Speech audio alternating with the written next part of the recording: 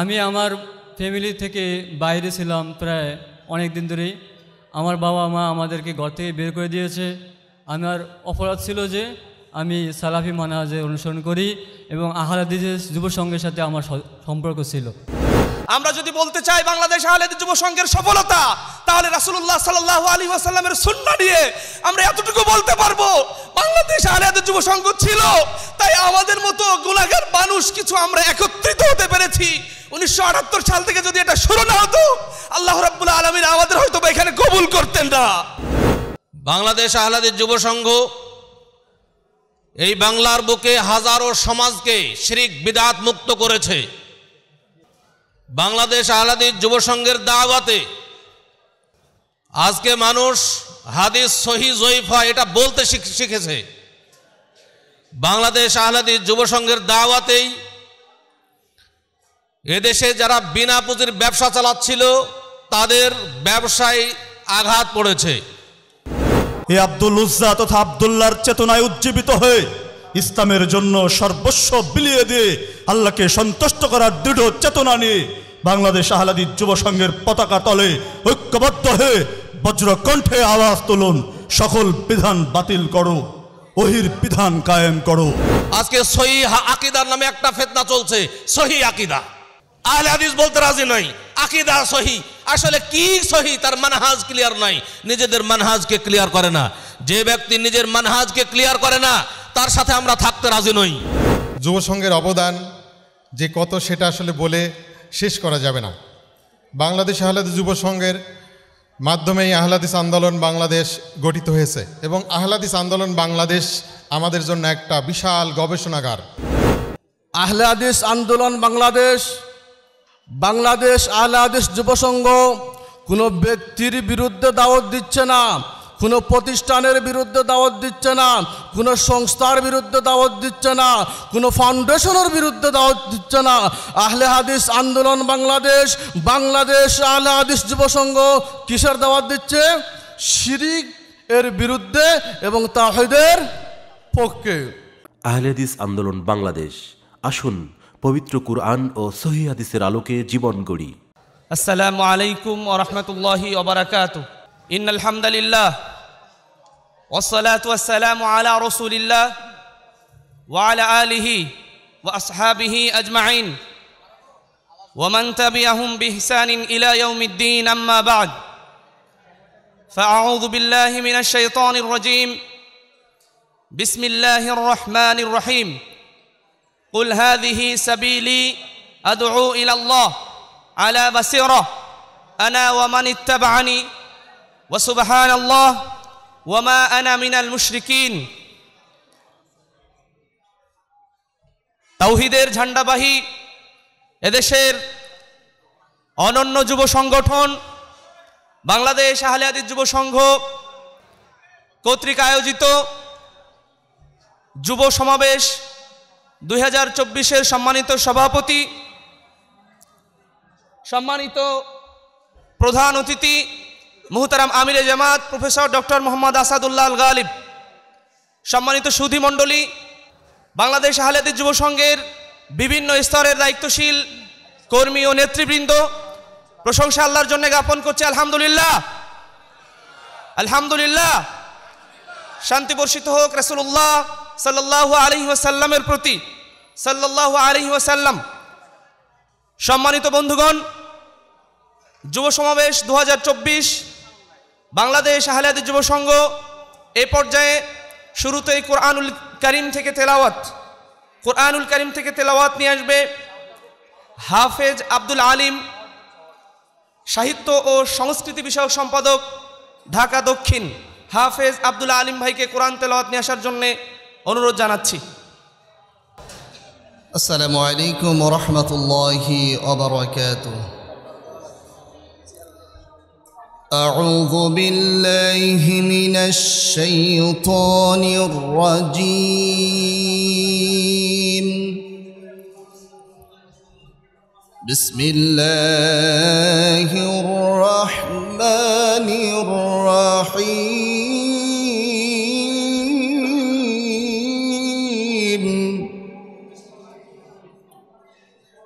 نحن نقص عليك نبأهم بالحق. إنهم فتية آمنوا بربهم وزدناهم هدى. وربطنا على قلوبهم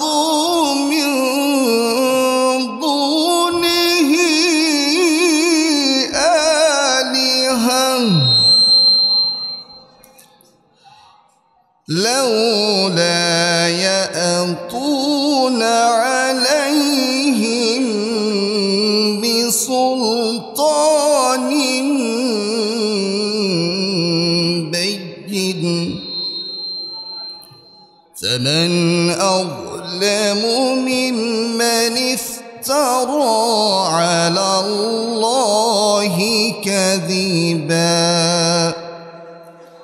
إرشاد হচ্ছে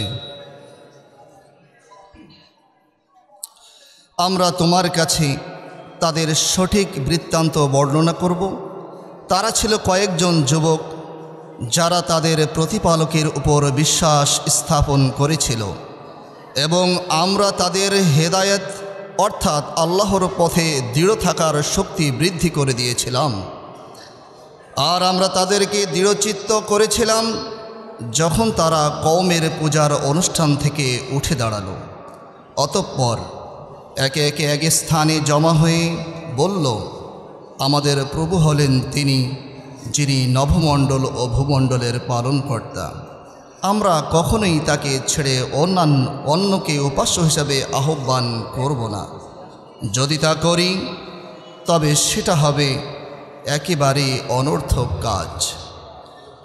তারা আরও বলল, ওরা আমাদের স্বজাতি। আল্লাহকে ছেড়ে ওরা অন্যকে উপাস্য হিসাবে গ্রহণ করেছে। তাহলে কেন তারা তাদের এসব মাবুদ সম্পর্কে স্পষ্ট প্রমাণ উপস্থিত করে না?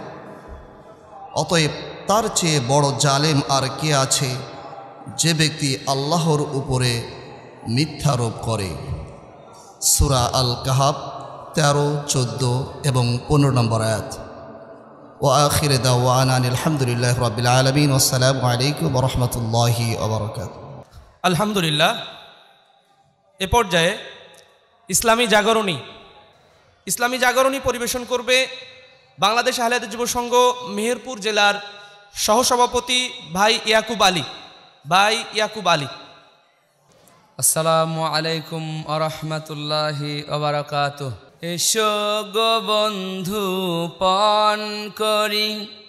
হাত মিলিয়ে হাতে ওহির বিধান করতে কায়েম আল্লারে ধরাতে।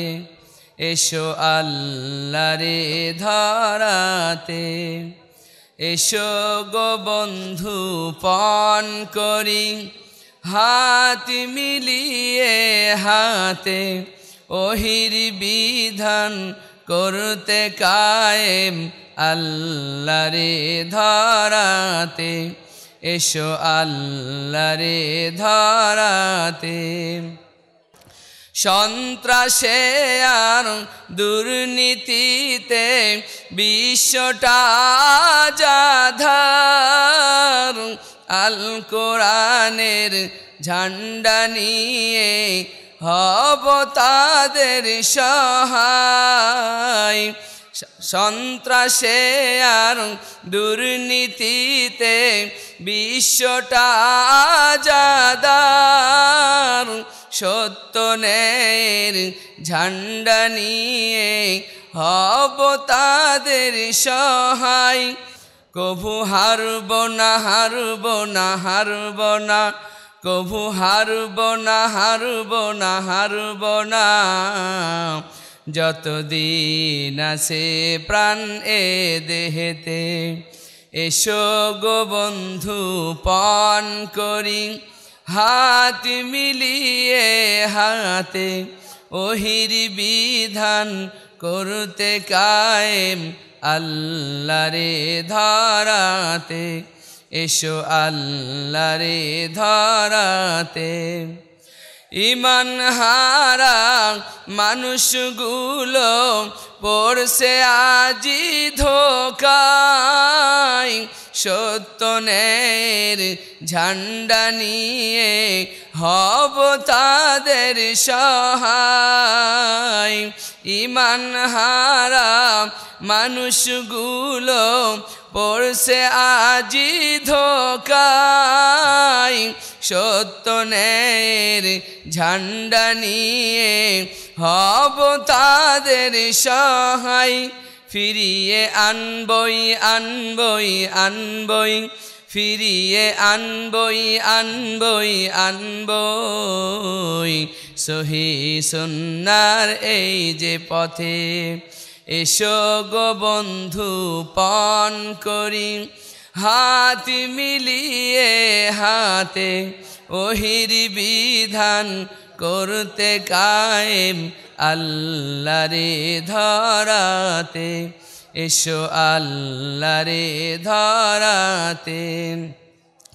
আল্লাহ তুমি সহায় থেকো জীবন চলার পথে। তুমি বিহীন জিহাদ মোদের সফল হবে না যে। আল্লাহ তুমি সহায় থেকো জীবন চলার পথে। তুমি বিহীন জিহাদ মোদের সফল হবে না যে। মোরা জিতবই জিতবই জিতবই। মোরা জিতবই জিতবই জিতবই। তুমি যদি থাকো সাথে, এসো গো বন্ধু, পণ করি। হাত মিলিয়ে হাতে ওহির বিধান করতে কায়েম আল্লাহরে ধরাতে। এসো আল্লাহরে ধরাতে, এসো আল্লাহরে ধরাতে। লিল্লাহে তাকবীর। সকল বিধান বাতিল করো। মুক্তি রাখি পথ। লিল্লাহে তাকবীর। আসসালামু আলাইকুম আ রহমতুল্লাহ। ধন্যবাদ প্রিয় ভাই ইয়াকুব আলীকে। বাংলাদেশ আহলে যুব সংঘের প্রতিটি কর্মীকে মাঠে ময়দানে সর্বদা দৃঢ়চিত্ত থাকতে হবে এবং দিন কায়েমের দীপ্ত শপথ নিয়ে এগিয়ে যেতে হবে। আল্লাহ রব্বুল আলমিন এই পথে আমাদেরকে কবুল করুন এবং আমাদের সহায় হন। আল্লাহ মামিন এ পর্যায়ে স্বাগত ভাষণ স্বাগত ভাষণ পেশ করবেন বাংলাদেশ আহলেদিস যুব সংঘের কেন্দ্রীয় সাধারণ সম্পাদক মোহাম্মদ আবুল কালাম আমি মোহতারামকে তার স্বাগত ভাষণ পেশ করার জন্য বিনীত অনুরোধ করছি আসসালামু আলাইকুম ও রহমতুল্লাহি ওবরকাত আলহামদুলিল্লাহ ওয়াহদা والصلاة والسلام على من لا نبي بعد وبعد فأعوذ بالله من الشيطان الرجيم قل هذه سبيلي أدعو إلى الله আলা বাসির। আহলাদিস আন্দোলন বাংলাদেশ কর্তৃক আয়োজিত চৌত্রিশতম বার্ষিক তবলিগি ইস্তামা দু হাজার চব্বিশ উপলক্ষে বাংলাদেশ আহলাদিস যুব সংঘ কেন্দ্রীয় কমিটি কর্তৃক আয়োজিত যুব সমাবেশের সম্মানিত সভাপতি, অতিথিবৃন্দ, প্রধান অতিথি, আহলাদিস আন্দোলন বাংলাদেশের মোহতারাম আমিরে জামাত প্রফেসর ডক্টর মোহাম্মদ আসাদুল আল গালিব, বাংলাদেশ আহলাদি যুব সংঘের কেন্দ্রীয় নেতৃবৃন্দ, সারা দেশের বিভিন্ন জেলা থেকে আগত প্রাণপ্রিয়, দায়িত্বশীল কর্মী ও যুবক ভাইয়েরা। সর্বাগ্রে আল্লাহ রবুল্লা আলমিনের সুক্রিয়া জ্ঞাপন করছি যে আল্লাহ রবুল্লা আলমিনের অশেষ মেহরবানিতে আমরা আজকের এই যুব সমাবেশে উপস্থিত হওয়ার সুযোগ পেয়েছি। এই জন্য সর্বাগ্রে আল্লাহ রবুল্লা আলমিনের শুক্রিয়া জ্ঞাপন করছি, আলহামদুলিল্লাহ। যারা চুপ থাকলেন, তারা বেজার নাকি? সকলেই সমস্বরে শুক্রিয়া আদায় করি, আলহামদুলিল্লাহ। অৎপরগণিত দরুদু সালাম বর্ষিত হোক। সর্বকালের সর্বশ্রেষ্ঠ মহামানব সাইয়দুল মুরসালিন খতমুল নবীন, যা রেখে যাওয়া আদর্শ বাস্তবায়নের জন্যই আমাদের সার্বিক প্রচেষ্টা। মোহাম্মদ মোস্তফা, আহমদ মোস্তফা সাল্লাহ আলহাসাল্লামের প্রতি। সুপ্রিয় মুসলিম ভ্রাতৃমণ্ডলী, যুব সমাজ সমাজের একটা গুরুত্বপূর্ণ অনুষঙ্গ। অফরন্ত প্রাণশক্তির আধার যুব সমাজ, দেশ ও জাতির ভবিষ্যৎ কর্ণধার। যুব সমাজই পারে শত ঝড় ঝাপটাকে উপেক্ষা করে, সমাজ সংস্কারের দৃঢ় চেতনা নিয়ে দাওয়াতি ময়দানে ছুটে চলা।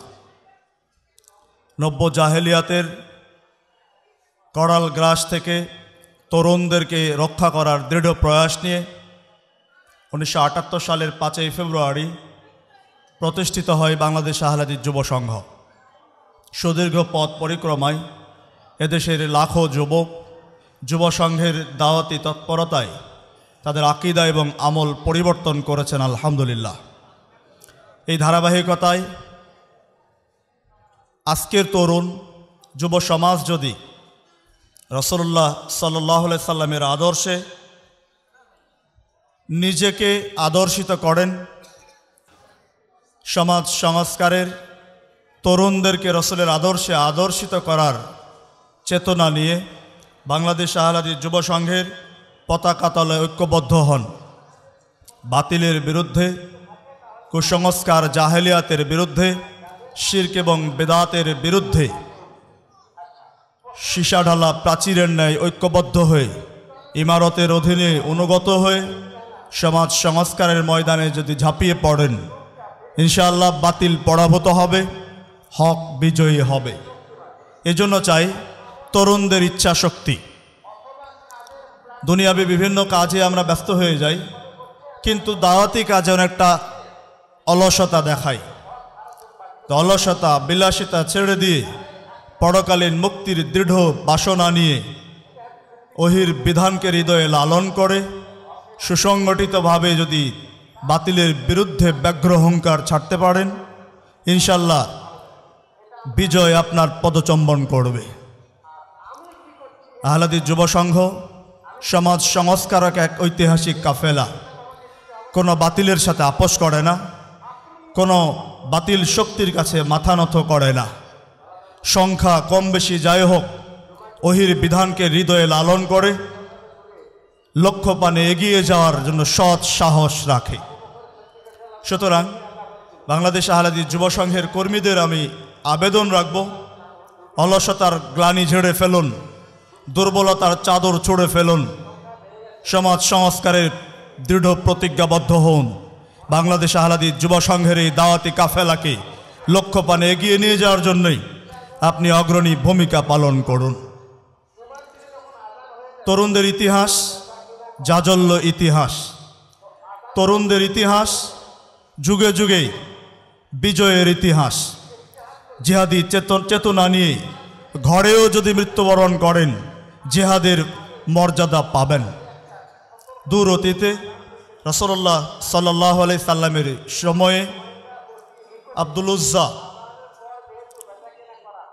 তিনি তার চাচার বাড়িতে কাজ করতেন, উট, ছাগল চড়ানোর। মনে মনে ইসলামের প্রতি সে অনেকটা আকৃষ্ট, কিন্তু চাচার ভয়ে কিছু বলতে পারে না। মক্কা বিজয়ের সময় যখন সব কিছু ওলট পালট হয়ে যায়, তখন তার হৃদয়ের লোকায়িত ইমান ফল্লস্রোত হয়ে বেরিয়ে আসে। চাচার নিকট গিয়ে ইসলাম গ্রহণের অনুমতি চায়। কিন্তু অমুসলিম চাচা রাজি হয় নাই, বরং তাকে ধমক দেয় সমস্ত সম্পদ থেকে তাকে বঞ্চিত করার। এমনকি ইসলাম গ্রহণের এই আগ্রহ অজুহাতে তার চাচা তার পরিধেয় বস্ত্র পর্যন্ত খুলে নেয়। নগ্ন অবস্থায় তাকে ছেড়ে দেয়। আব্দুল উজ্জা হৃদয়ে ব্যথিত হয়ে নগ্ন অবস্থায় ছুটে যায় তার মায়ের কাছে। মা দেখে কান্নাকাটি করেন। তার দিকে একটা কম্বল ছড়ে মারে। আব্দুল উজ্জা এই কম্বলটি ছিঁড়ে দু টুকরা করেন, নিচে একটা পরে পরিধান করেন, গায়ে এক টুকরা জড়িয়ে নেন। রাসুলের কাছে চলে গেলেন মদিনার পথে। মসজিদে নববীতে রসল্লাহ সাল্লাহ সাল্লামের সাথে সাক্ষাৎ করলেন। আল্লাহ রসুলকে সব ঘটনা খুলে বললেন। রসুলের হৃদয় বিগলিত হয়ে গেল। আল্লাহ রসুল সাল্লাহ সাল্লাম তার নাম পরিবর্তন করে আবদুল্লাহ রাখলেন। লকব হিসেবে জুল বিজাদায়েন অর্থাৎ দুই টুকরাওয়ালা লকব দিলেন। আহলে সোফার সাথে থাকার ব্যবস্থা করলেন। মসজিদে নবাবিতে বিপুল আগ্রহ নিয়ে কোরআন শিক্ষা শুরু করলেন। তার কোরআন শিক্ষার কণ্ঠের ধ্বনিতে মুসল্লিদের বিঘ্ন ঘটত। ওমারে ফারুক রদি আল্লাহ তালান আল্লাহ রসুলের কাছে অভিযোগ দিলেন, হে আল্লাহ রসুল, তার এই কোরআন তিলাওতের ধ্বনিতে মুসল্লিদের কষ্ট হয়। বিঘ্ন ঘটে। আল্লাহ রসুল বলছেন, ওমার, তুমি তাকে কিছু বলো না। আল্লাহর জন্যে, রাসুলের জন্যে আবদুল্লাহ সব কিছু বিসর্জন দিয়েছে। তার পরিধেয় বস্ত্র পর্যন্ত খুলে দিয়েছে। সব কিছু ছেড়ে দিয়ে আল্লাহর মহব্বতে রসুলের ভালোবাসায় ছুটে এসেছে। তুমি তাকে কিছুই বলো না। ওমার থেমে গেলেন। তবুকের যুদ্ধের সময় হয়ে গেল। আল্লাহ রসুলের কাছে চলে আসছেন, হে আল্লাহ রসুল, আমিও জিহাদের ময়দানে যেতে চাই। তখন আল্লাহ রসুল বলছেন, হে আবদুল্লাহ, তুমি জিহাদে যেও না। আল্লাহ রসুল তার জন্য দোয়া করলেন যে রক্ত কাফিরদের জন্য হারাম করা হোক। আল্লাহর কাছে দোয়া করলেন। তখন এই আবদুল্লাহ বলছেন, হে আল্লাহ রসুল, আমি তো এটা চাইনি। জেহাদের আকাঙ্ক্ষা নিয়ে, জেহাদি তামান্না নিয়ে তো আমি এসেছি। আল্লাহ রসুল বলছেন, তুমি যদি ঘরের মধ্যে জ্বরে আক্রান্ত হয়ে শুয়ে থাকে, বিছানায় মৃত্যুবরণ করো, তবুও তুমি শাহাদতের মর্যাদা পাবে। তাই হলো তবুকের যুদ্ধের সময়ে গাত্রদাহ বেড়ে গেল। বিছানায় শুয়ে থেকেই আবদুল্লাহর মৃত্যুবরণ করলেন। তার দাফন কার্যের সময়ে কি সৌভাগ্যবান! রসল্লাহ সাল্লা সাল্লাম নিজে তার দাফন করার জন্য কবরে নামলেন। রাত্রিতে তার দাফন হয়েছিল। ইসলামের প্রথম মোয়াজ্জিন বেলাল রদিয়াল্লাহ তালানহ তার এই দাফন কার্যের আলো জ্বালিয়েছিলেন। আল্লাহ রসুল সাল্লাহ সাল্লাম কবরে নামার সময় ওমার এবং আওবকর আওবকর এবং ওমার রদি আল্লাহ তালানহুকে বলছেন, আদনিয়া ইলা আখা কুম তোমরা তোমাদের ভাইকে আমার নিকট নিয়ে আসো। অর্থাৎ তার লাশ বহন করেছিলেন ইসলামের অন্যতম দুই প্রাণ পুরুষ, প্রথম খলিফা আবু দ্বিতীয় খলিফা ওমার রদি আল্লাহ তালানহু আল্লাহ রসুল নিজে তাকে কবরে শোয়ালেন। শোয়ানোর সময় আল্লাহ রসুল দোয়া করছেন আল্লাহ আনহু আনহু। আল্লাহ রসুল সাল্লাহ সাল্লাম বলছেন, হে আল্লাহ, আমি আজকে সন্ধ্যা পর্যন্ত এর প্রতি সন্তুষ্ট ছিলাম। তার আচরণে, তার চেতনায়, তার আন্তরিকতায় আমি সন্ধ্যা পর্যন্ত তথা মৃত্যুর আগ পর্যন্ত তার প্রতি সন্তুষ্ট ছিলাম। সুতরাং এ যুবকের উপরে তুমিও খুশি হয়ে যাও। এই দৃশ্য আবু বকর রাদি আল্লাহ তালন দেখে তিনি আফসোস করে বলছেন, ইয়া লাইতানি কুংতু সাহেব আল হুফরা। হায়, আমি যদি হতাম এই যুবকের পরিবর্তে, যার দাফন কার্যের জন্য আলো জ্বালিয়েছিলেন বেলাল, যার লাশ বহন করার জন্য দুই খলিফা, পরবর্তী খলিফা আউ করমার রসুল্লাহ সাল্লাম নিজে কবরে নেমে যার দাফন কার্য সম্পন্ন করেছিলেন। আমি যদি এই আবদুল্লাহ তথা পূর্ব নাম আব্দুল উজ্জার পরিবর্তে আমি হতাম, কতই না সুন্দর হতো। সুতরাং এই জাজল্য ইতিহাস তরুণদের আছে। আহলাদি যুব সংঘের প্রতিটি কর্মীকে এই আব্দুল উজ্জা তথা আবদুল্লাহর চেতনায় উজ্জীবিত হয়ে ইসলামের জন্য সর্বস্ব বিলিয়ে দিয়ে আল্লাহকে সন্তুষ্ট করার দৃঢ় চেতনা নিয়ে বাংলাদেশ আহলাদি যুব সংঘের পতাকা তলে ঐক্যবদ্ধ হয়ে বজ্রকণ্ঠে আওয়াজ তুলুন, সকল বিধান বাতিল করো ওহির বিধান কায়েম করো। এই চেতনা নিয়ে যত অল্প সংখ্যক কর্মী হোক না কেন, দাওয়াতি ময়দানে যদি দৃঢ় পদে আপোষহীন চেতনা নিয়ে দাঁড়িয়ে যান, ইনশাআল্লাহ বিজয় নিশান বাংলার জমিনে ইসলামের বিজয় নিশান উড্ডীন হবে, বাতিল পরাভূত হবে, কুসংস্কার জাহেলিয়াত পদদলিত হবে, তৌহিদের পতাকা বাংলার জমিনে উড্ডীন হবেই হবে ইনশাআল্লাহ।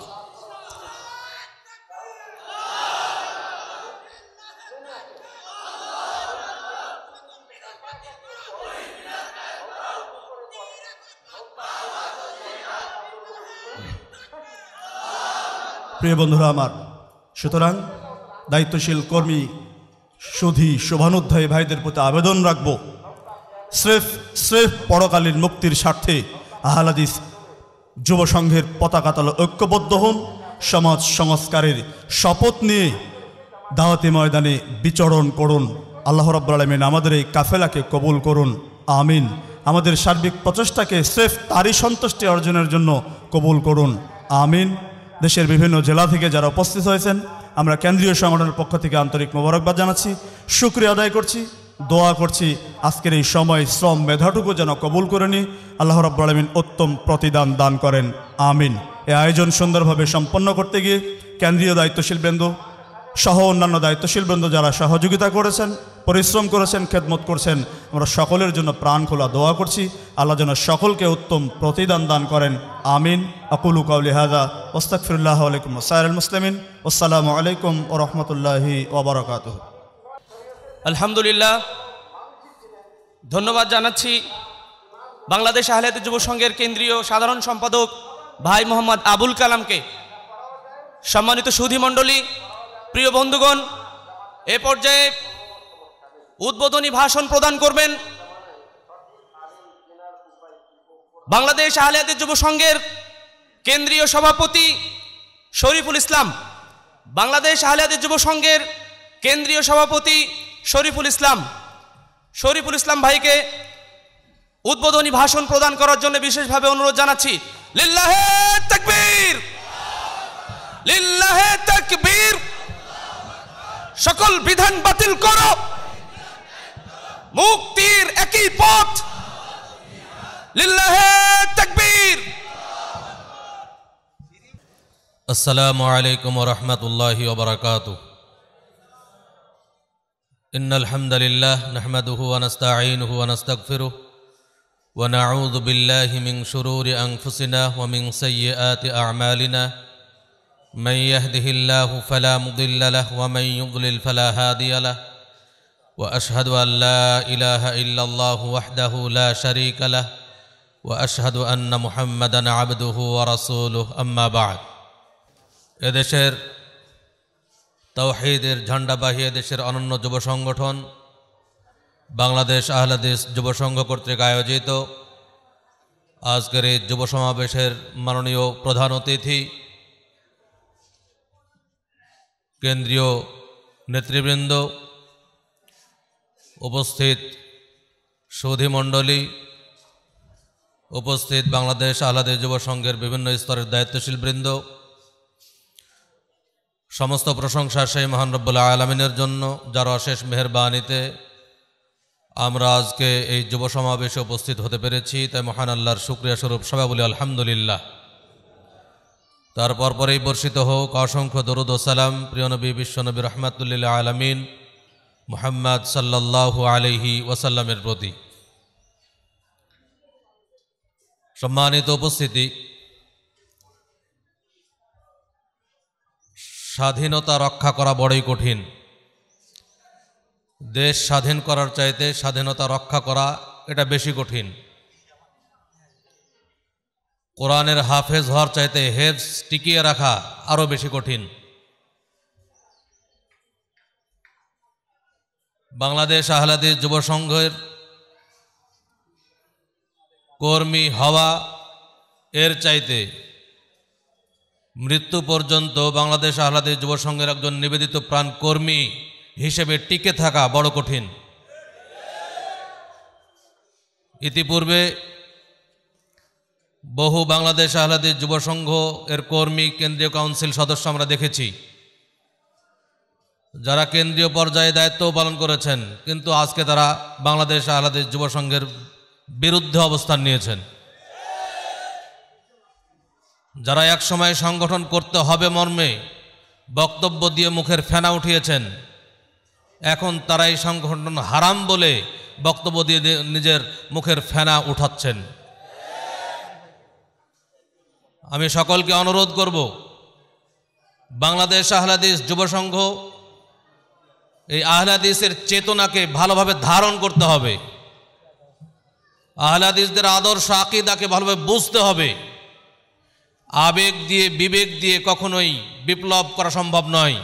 যতক্ষণ পর্যন্ত নিজের কাছে নিজে ক্লিয়ার না হবেন, ততক্ষণ পর্যন্ত কখনো আবেগ দিয়ে ইসলাম চলবে না। এই জন্য সকলের কাছে অনুরোধ, সংগঠনকে বোঝার চেষ্টা করি। বুঝে শুনে সংগঠন করি, তাহলেই আমরা আমাদের ইস্তেকামাত ঠিক থাকবে আমাদের। আজকে আমরা বহু সংগঠককে দেখেছি, যারা সিটকে তো পড়েছেনই এবং আমাদের কর্মী ভাইদেরকে বিপথে নিয়ে যাওয়ার জন্য তাদেরকে বিভ্রান্ত করার জন্য বিভিন্ন অপচেষ্টায় লিপ্ত আছে। আমাদেরকে সতর্ক থাকতে হবে, সাবধান থাকতে হবে। বাংলাদেশ আহলাদের যুব সংঘ এই বাংলার বুকে হাজারো সমাজকে শিরিক, বিদাত মুক্ত করেছে। বাংলাদেশ আহলাদের যুব সংঘের দাওয়াতে আজকে মানুষ হাদিস সহি জয়ফা, এটা বলতে শিখ- শিখেছে। বাংলাদেশ আহলাদিস যুব সংঘের দাওয়াতেই এদেশে যারা বিনা পুঁজির ব্যবসা চালাচ্ছিল, তাদের ব্যবসায় আঘাত পড়েছে। বাংলাদেশ আহলাদিস যুব সংঘ এটা একটা শক্তি। আমরা কখনোই সংগঠনের জন্য মানুষকে দাওয়াত দেই না। বরং দাওয়াতের জন্য আমরা সংগঠন করি। দাওয়াতের ময়দানকে শক্তিশালী করার জন্যই সংগঠন। আজকে বিভিন্ন জায়গায় দেখি, বহু সম্মেলন দেখলাম কনফারেন্স দেখলাম। প্রস্টারে বক্তাদের লিস্ট এতই লম্বা যে শ্রোতার চাইতে বক্তার সংখ্যাই মনে হয় বেশি। কিন্তু শ্রোতাদের উপস্থিতি লক্ষ্য করা যায় না। বহু জায়গায় দেখেছি নিজেরা বাস দিয়ে বিরিয়ানি খাওয়ায় শ্রোতা উপস্থিত করতে পারে না। কিন্তু আহলাদিস আন্দোলন বাংলাদেশ বাংলাদেশ আহলাদিস যুব সংঘ কখনো কোনো পোস্টারিং করে না। পোস্টারে কোনো বক্তার নাম উল্লেখ থাকে না। কোনো জায়গায় ফ্রি বাস দেওয়া হয় না। সকলেই নিজের পকেটের টাকা খরচ করে নিজেরা এখানে এসে নিজের পকেটের টাকা খরচ করে খেয়ে আমরা বৃষ্টির মধ্যেও বৃষ্টিকে উপেক্ষা করে ময়দানে উপস্থিত থাকছি। এটা সংগঠনের বরকত, আলহামদুলিল্লাহ। একটু বৃষ্টি হলে মানুষ পালিয়ে চলে যায়। গতকাল আমরা দেখেছি, আমরা আমাদের ইমানের পরীক্ষা দিয়েছি। বৃষ্টি বারবার আসছে, কিন্তু আমাদের কর্মীরা এত জোরালো ইমানের উপরে ছিলেন যে তারা ময়দান ত্যাগ করেন নাই। সম্মানিত উপস্থিতি। এজন্য আমাদেরকে আমাদের ইস্তেমা, ইস্তেকামাত ঠিক রাখার জন্য, সংগঠনের উপর আমাদের দৃঢ়তা বজায় রাখার জন্য আমাদের কিছু করণীয় আছে। তার মধ্যে এক নম্বর, আমরা সবসময় আল্লাহর তৌফিক কামনা করব। আল্লাহর কাছে আমরা আল্লাহ তৌফিক এবং হেদায়েতের দোয়া করব। যে আল্লাহ তুমি আমাদেরকে বাংলাদেশ আহলাদি যুব সংঘের একজন নিবেদিত প্রাণ কর্মী হিসেবে কবুল করো। এবং কেয়ামত পর্যন্ত, আমার মৃত্যু পর্যন্ত এই নিবেদিত প্রাণ কর্মী কর্মী হিসেবেই আমাকে কবুল করো, এই তৌফিক তুমি আমাকে দান করো। আমরা যারা বাংলাদেশ আহলাদি যুব সংঘের কর্মী আছি, তারা দুনিয়াবি স্বার্থে কোনো কাজ করি না আমাদের সকল স্বার্থ হচ্ছে পরকালীন স্বার্থ। আমরা কিন্তু ফ্রি কোনো কাজ করি না। ফ্রি কাজ করি, এটা আমি বলতে বিশ্বাস বলতে রাজি নই। আমরা কখনোই ফ্রি করি না। দুনিয়াবি স্বার্থ আমাদের নাই ঠিকই, কিন্তু আমাদের স্বার্থ আছে। আমাদের স্বার্থ হলো এক নম্বর, পরকালীন স্বার্থ। আমরা বিজনেস করছি আল্লাহর সাথে। আমরা আল্লাহর দিনকে, আল্লাহর কালেমাকে সমুন্নত করার জন্য আপ্রাণ চেষ্টা করছি। আমাদের সাধ্যা অনুযায়ী, এর বিনিময়ে আল্লাহর কাছে আমরা কামনা করি আল্লাহ তালা তার অফরন্ত নিয়ামতের জায়গা জান্নাত আমাদেরকে দান করবেন। এটাই আমাদের কামনা, এটাই আমাদের লক্ষ্য। সম্মানিত উপস্থিতি, আমাদের একটা জিনিস স্মরণ রাখতে হবে। যদি কোনো ব্যক্তি বাংলাদেশ আলের যুব সংঘের কোনো কর্মী মনে করেন যে আমার দুনিয়াবি অনেক স্বার্থ দরকার, তাহলে বাংলাদেশ আহলাদি যুব সংঘের সাথে থাকার কোনো প্রয়োজন নেই। বহু সংগঠন আছে দুনিয়াবি স্বার্থ হাসিলের।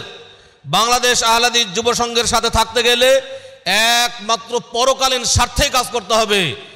তাহলেই আমরা বাংলাদেশ আহলাদি যুব সংঘের নিবেদিত প্রাণ কর্মী হিসেবে নিজেদেরকে আখ্যা দিতে পারব ইনশাআল্লাহ।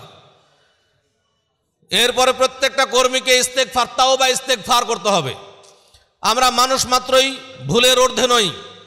আমরা যেহেতু মানুষ, ভুল করছি, কম বেশি সবাই ভুল করি।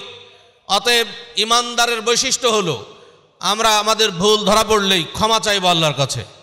আল্লাহর রাসুল সাল্লাহ আলী আসাল্লাম দৈনিক কমপক্ষে একশো বার ক্ষমা চাইতেন। আমাদের পূর্বের গুণা পরের গুণা ক্ষমা হয়নি।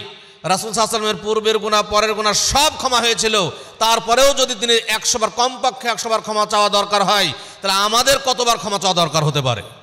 অতএব আমরা সবসময় ইস্তেক ইস্তেকভার করব তৌবা করব। এবং আমরা নিজেদের আত্মসমালোচনা করব। মুহাসাবা অর্থাৎ আমি আজকে এই চব্বিশটি ঘণ্টা গেল এই চব্বিশ ঘণ্টার মধ্যে আমি নিজে কয়টি কাজ ভালো করলাম, কয়টি কাজ খারাপ করলাম, এটা নিজের হিসাব নিজেই করব।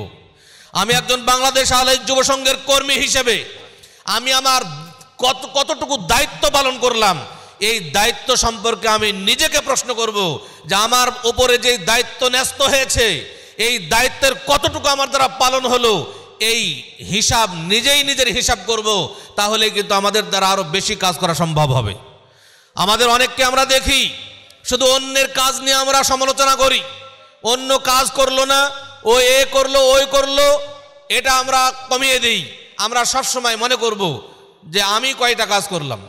যেহেতু আমাদের স্বার্থ পরকালীন স্বার্থ, আমি যদি জান্নাতের আশাতেই কাজ করে থাকি, তাহলে আমার মনে করা দরকার যে আমি যত বেশি কাজ করতে পারব, ততই আমার জান্নাতের পথ সহজ হবে। ততই আমি জান্নাতের উঁচু মাকাম অর্জন করব।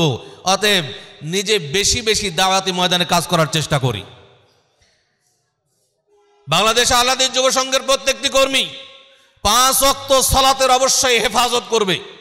যে কর্মী পাঁচ অক্ত সালাতে মনোযোগী নয়, সে বাংলাদেশ আহলাদির যুব সংঘের কর্মী হতে পারে না। অবশ্যই অবশ্যই প্রত্যেকটা কর্মীকে পাঁচ অক্ত সালাতের পাবন্দি হতে হবে। নিয়মিত জামায়াতের সহিত পাঁচ অক্ত সালাতের অভ্যস্ত হতে হবে। তাহলে আমি বাংলাদেশ আহলাদির যুব সংঘের একজন একনিষ্ঠ কর্মী হতে পারব। বাংলাদেশ আহলাদির যুব সংঘের কর্মীকে এলেম হাসিল করতে হবে।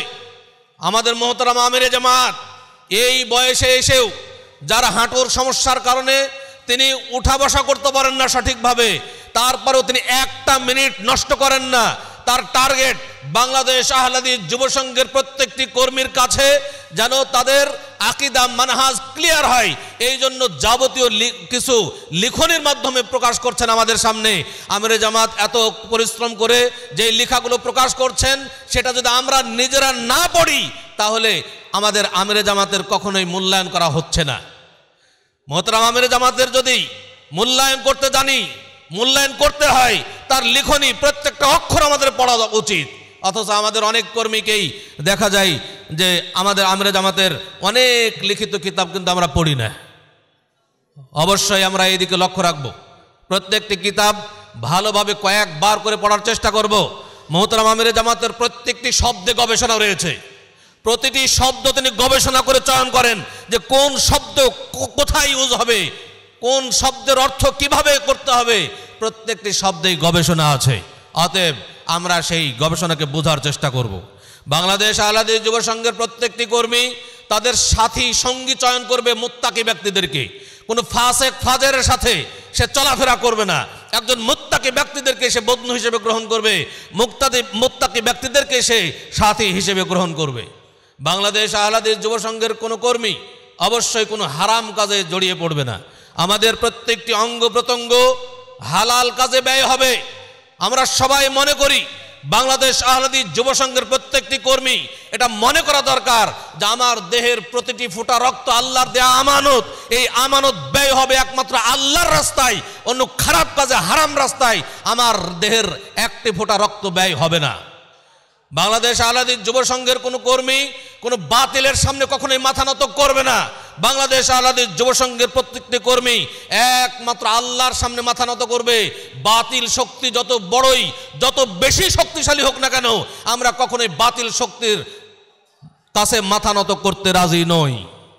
সম্মানিত উপস্থিতি, এবং আমাদেরকে সবসময় শয়তানের রাস্তা চিহ্নিত করতে হবে। শয়তানের রাস্তা কোনটি? এটা চিহ্নিত করা দরকার। সতর্ক থাকার জন্য। আমি যেন ওই শয়তানের রাস্তায় না চলি। এটা সতর্ক থাকার জন্য অবশ্যই অবশ্যই আমাদের এটা চিহ্নিত করতে হবে। পরিশেষে আমি সকলকে অনুরোধ করব, বাংলাদেশ আহ্লাদি যুব সংঘের প্রত্যেকটি কর্মী যুব সংঘের আওতায় সারা দেশে একনিষ্ঠভাবে, একযোগে, ঐক্যবদ্ধভাবে জামাতবদ্ধভাবে বাতিলের মোকাবেলা করবে। আমরা অনেককেই দেখি যে সবার সাথে আছি। সবার সাথে যারা আছে, আসলে তারা কর- কারোর সাথেই নাই। সবার সাথে আছি এটা আসলে ভালো নয়। আপনারা একটা জানেন মাসি মাসি আমাদের যেটা দেখা যায়, সব জায়গায় থাকে। ও পায়খানাতেও থাকে, ড্রেনেও থাকে, মিষ্টিতেও থাকে, খাদ্যেও থাকে। ওর দ্বারা সমাজ কি কোনো উপকৃত হয়? কোনো কিছু কোনো উপকার লাভ করে না সমাজ। যে সব জায়গায় থাকে, যে নিজেকে বলে যে আমি সবার সাথে আছি, তার দেল নাকি খুব বড়। আমাদেরকে তারা সংকীর্ণ মনে মনে করে। সম্মানিত উপস্থিতি, যারা সবার সাথে আছে, এই নীতিতে বিশ্বাসী তাদের দ্বারা দিনের খেদমত হবে না। অবশ্যই তাকে তার মানহাজ ক্লিয়ার হতে হবে। আমার মানহাজ কি? আজকে সহি আকিদার নামে একটা ফেতনা চলছে সহি আকিদা। আহলে হাদিস বলতে রাজি নয় আকিদা সহি আসলে কি সহি তার মানহাজ ক্লিয়ার নাই। নিজেদের মানহাজকে ক্লিয়ার করে না। যে ব্যক্তি নিজের মানহাজকে ক্লিয়ার করে না, তার সাথে আমরা থাকতে রাজি নই। আমরা আমাদের মানহাজকে ক্লিয়ার করতে চাই। আমরা আহলে হাদিস আহলে হাদিস মানহাজ। আহলাদিসদের মান হচ্ছে, মানহাজ হচ্ছে একমাত্র নবী মোহাম্মদ সাল্লাল্লাহু আলী ওয়াসাল্লাম এবং সাহাবা একরামের মানহাজ। এই মানহাজ বাদ দিয়ে অন্য কোনো মানহাজ আমরা আমাদের জীবনকে পরিচালিত করতে পারি না। সম্মানিত উপস্থিতি, তাই আসুন আমরা আমাদের সকলেই আমাদের ইস্তেকামাত ঠিক রাখি। বাংলাদেশ আহলাদির যুব বোঝার চেষ্টা করি। কারও মনে যদি কোনো সংশয় থাকে আমাদের সাথে বসুন। আমাদের সাথে বসুন, বসে নিজে ক্লিয়ার হন। সংশয় নিয়ে সংগঠন করবেন না। যখন আপনার মনে সংশয় থাকবে, তখনই আপনি একসময় ছিটকে পড়বেন। অতএব আমাদের কোনো কিছু গোপন নেই। বাংলাদেশ আহলাদের যুব সংঘ গোপনে কাজ করে না। প্রকাশ্যে কাজ করে। আমাদের সব কিছুই প্রকাশ্যে। অতএব সব কিছু আসুন, আমাদের সাথে বসুন, নিজেদের কনসেপ্ট ক্লিয়ার করুন। তাহলে ইনশাল্লাহ এই বাংলাদেশ আহলাদ যুব সংঘের কর্মী হিসেবে আপনি নিজের দৃঢ়তা বজায় রাখতে পারবেন। আল্লাহ তালা আমাদের সকলকেই তৌফিক দান করুন। আমি বাংলাদেশ আহলাদিস যুব সংঘের এই যুব সমাবেশে যারা উপস্থিত হয়েছেন, তাদেরকে আন্তরিক মুবারকবাদ ও ধন্যবাদ জানিয়ে আজকের এই যুববর্ষের সমাবেশের উদ্বোধনী বক্তব্য শেষ করছি। আকুল কৌলি হাদা ও আস্তাক ফিরুল্লাহ আলী ওয়ালাকুম ইসাইল মুসলিমিন ফাস্তাক ফিরুহ ইন্নাহু হল গফুর রাহিম। আসসালামু আলাইকুম ও রহমতুল্লাহি ওবরাকাত ধন্যবাদ মোহতারাম সভাপতি মহোদয়কে।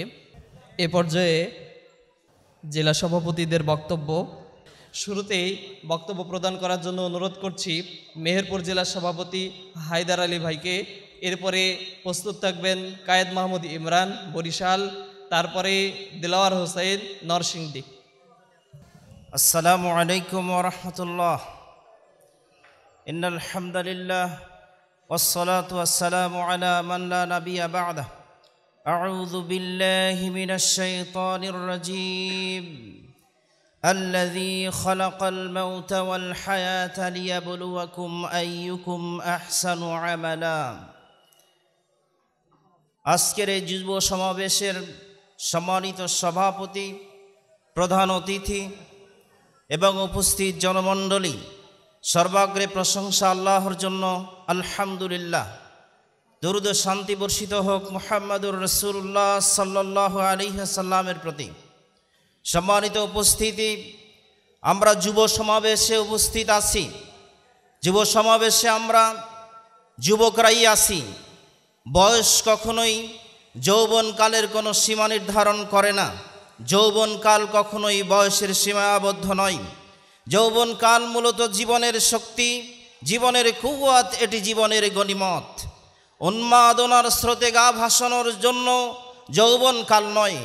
বরং কোরআন সুন্নাভিত্তিক প্রকৃত জীবন গড়ার প্রেরণাই হলো যৌবনকালের অন্যতম কর্ম। হে মানুষ, ময়দানে মাহসুরে তুমি কি রব্বুল আলমিনের দরবারে প্রশ্নোত্তরে বিজয়ী হতে চাও? তুমি কি কেয়ামতের ময়দানে রব্বুল আলমিনের একমাত্র ছায়া আসীন হতে চাও? তাহলে এ জীবনের, এ যৌবনের শক্তি, সামর্থ্য এবং অবসর সময়টি রব্বুল আলমিনের ইবাদতে কাটিয়ে দাও। খুবই শ্রদ্ধা ভরে স্মরণ করতে হবে সালাফে সালিহীন। নবী মুহাম্মদুর রসুল্লাহ সাল্লাহ সাল্লাম এবং তার একান্ত অনুসারী সাহবাই কেরাম আজমাইন আইমায় মুস্তাহিদিন, সালফে সালিহিনদেরকে তাদের জীবন আদর্শকে সামনে রেখেই নিজের যৌবনকালকে সাজাতে হবে। কারণ যৌবনকাল এত জীবন গড়ার সময় এত আখেরাত সাজানোর সময়, এ জীবন তো কবর রাঙানোর সময়। এ জীবন গান, বাজনা, ফিল্ম, জিনা, ব্যবিচার, মদ গাজার পাপের স্রোতে ভেস ভাসিয়ে দেওয়ার নয়। খুবই ভালোভাবে খেয়াল করতে হবে। বরং আমাদেরকে, আমাদের করণীয়টা স্থির করতে হবে। পবিত্র কোরআন এবং সই হাদিসের নিরিখে। এজন্য ফিরে তাকাতে হবে। আমরা কি ভুলে গেছি? পৃথিবীতে ফেরাউন এবং তার দোসর, নমরুদ এবং তার দোসর, আবু জাহেল এবং তার দোসর উদ্বা সাহেবারা বিদায় নিয়েছে, কিন্তু তাদের দুর্নাম আর দুর্গন্ধ পৃথিবীময় ছড়িয়ে আছে, যার জন্য শুধু তারা বদ্ধ ধিক্কার লানত অভিসম্পাদ পায়। পক্ষান্তরে বেলাল, খাব্বাব, খুবাইব, ইয়াসির ওমার এই সব মানুষদের দিকে কি আমরা খেয়াল করিনি? যাদের সুনাম ও সৌরভ দুনিয়াকে বিমোহিত করে রেখেছে, যার বদৌলতে তারা পরকালীন জীবনে আড়ম্বরপূর্ণ শান্তিময়, সুশীতল, জান্নাতি জীবন লাভ করবে। ওহে যুবক, তাই আসুন, পবিত্র কোরআন এবং সই হাদিসের নিরিখে নিজের জীবন যৌবন কাল ব্যয় করে আল্লাহর ইবাদতে দিনের দাওয়াত এবং জিহাদে নিজের জীবনকে সঁপে দিয়ে জান্নাত কামানোর প্রতিজ্ঞা গ্রহণ করি আল্লাহ আমাদের তৌফিক দান করুন আল্লাহ আমিন আসসালামু আলাইকুম রহমতুল্লাহ জাজাকাল্লাহ খায়ের এ পর্যায়ে বক্তব্য প্রদান করবেন বরিশাল জেলার সভাপতি কায়েদ মাহমুদ ইমরান السلام عليكم ورحمة الله وبركاته إن الحمد لله وحده والصلاة والسلام على من لا نبي بعد أما بعد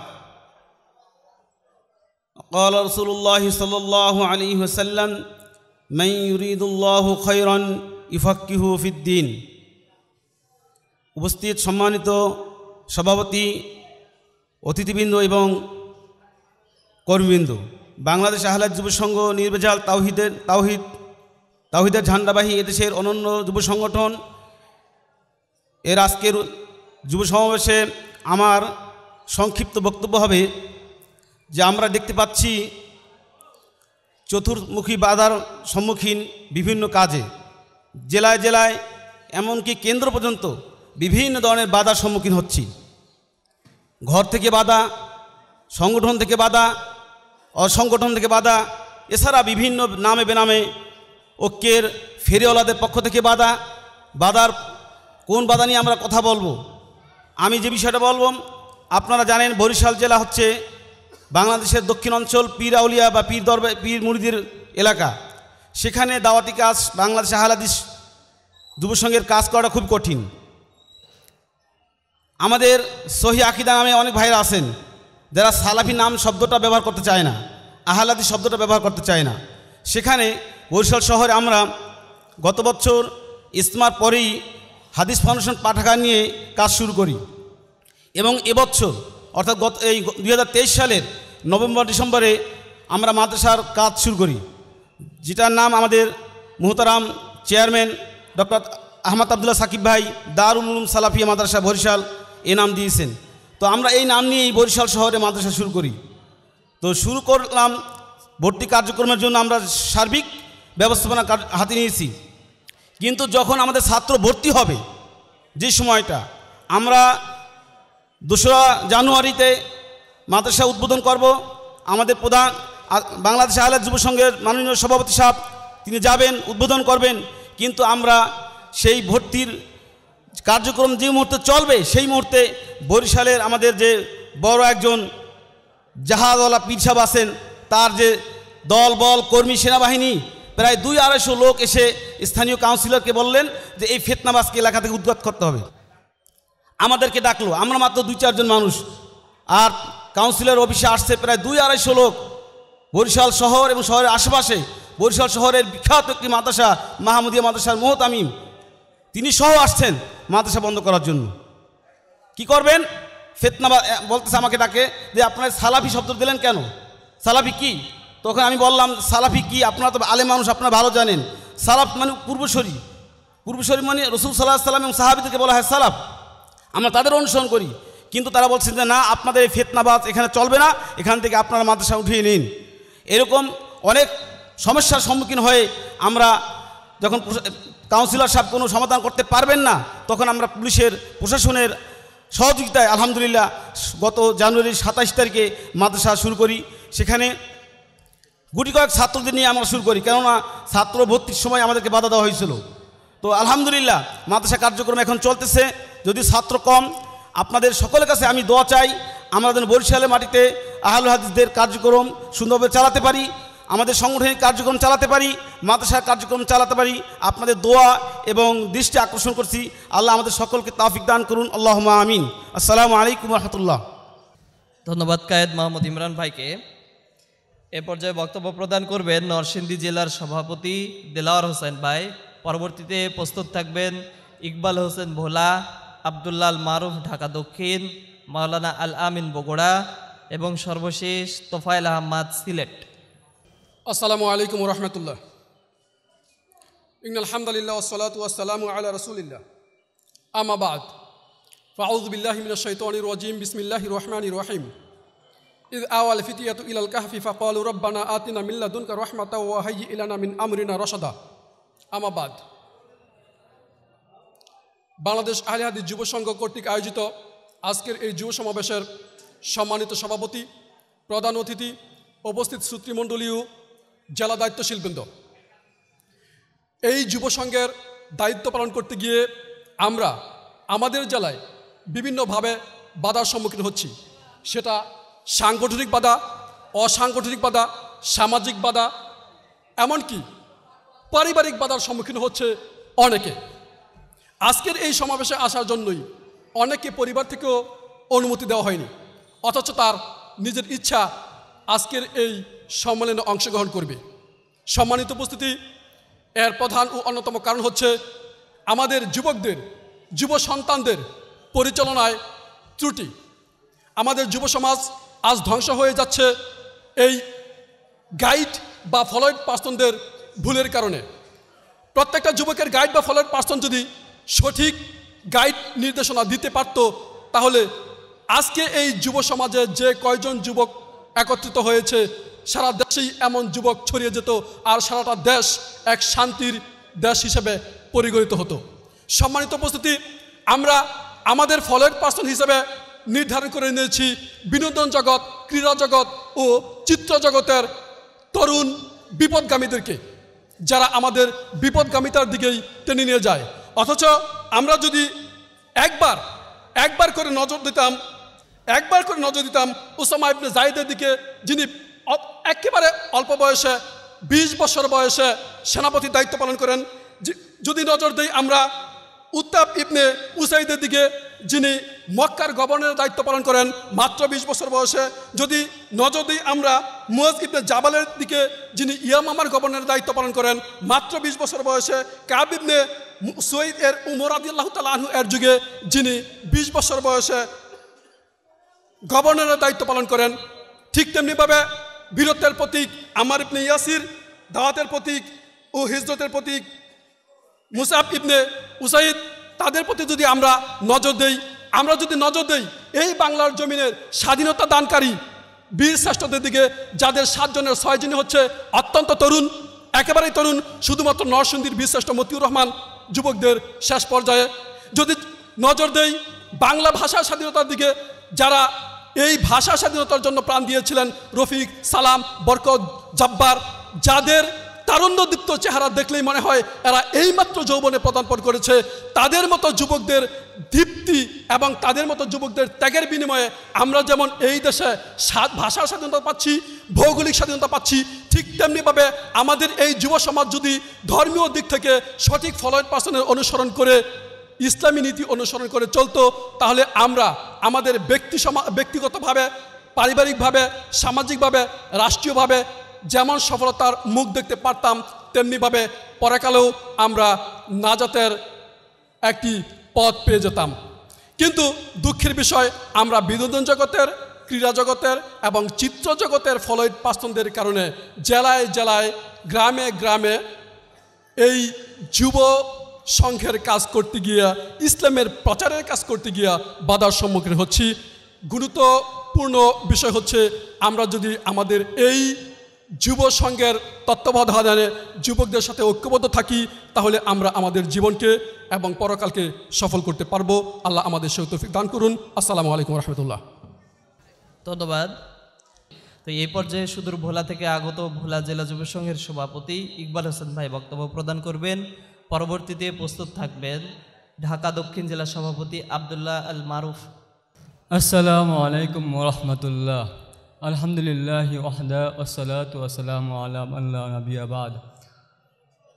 উপস্থিত আজকের যুব সংঘের, যুব সমাজের সকল পর্যায়ে সকল জেলায় নেতৃত্ববৃন্দ উপস্থিত আছেন মঞ্চে, কেন্দ্রীয় নেতৃত্ববৃন্দ উপস্থিত আছেন।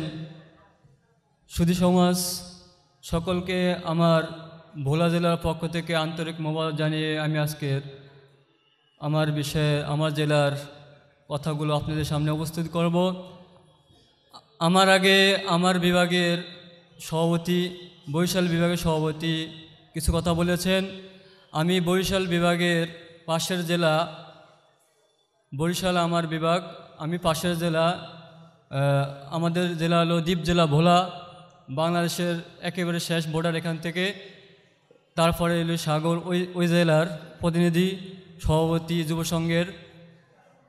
আমাদের ওইখানে অত্যন্ত খুব কষ্টকর আমাদের যে সাথীরা আছে, তারা সবসময়ই তাদের জীবনের ঝুঁকি নিয়ে মনে হয় যে সালাফি মানহাজ অনুসরণ করেন যারা। ওইখানে আপনারা জানেন দক্ষিণ অঞ্চলের পীর, আমি তার নাম বলব না, ওই পীরের যে সাঙ্গভঙ্গ দল আছে, ওনাদের প্রভাব সবচেয়ে বেশি। ওইখানে সালাফি অনুসরণ বা আহলাদিস্ত এদের নাম শুনলে তারা মনে করে যে আমরা ইহুদিদের দালাল এবং আমরা কাফের মুশরিক। আমি আমার ফ্যামিলি থেকে বাইরে ছিলাম প্রায় অনেক দিন ধরেই। আমার বাবা মা আমাদেরকে ঘর থেকে বের করে দিয়েছে। আমার অপরাধ ছিল যে আমি সালাফি মানাজে অনুসরণ করি এবং আহলাদিজের যুব সংঘের সাথে আমার সম্পর্ক ছিল। এরপর আমাকে আমার গ্রাম থেকেও অনেক বিতাড়িত করা হয়েছে। আমি দীর্ঘ সাতাশ মাস আমার গ্রামে বাইরে ছিলাম।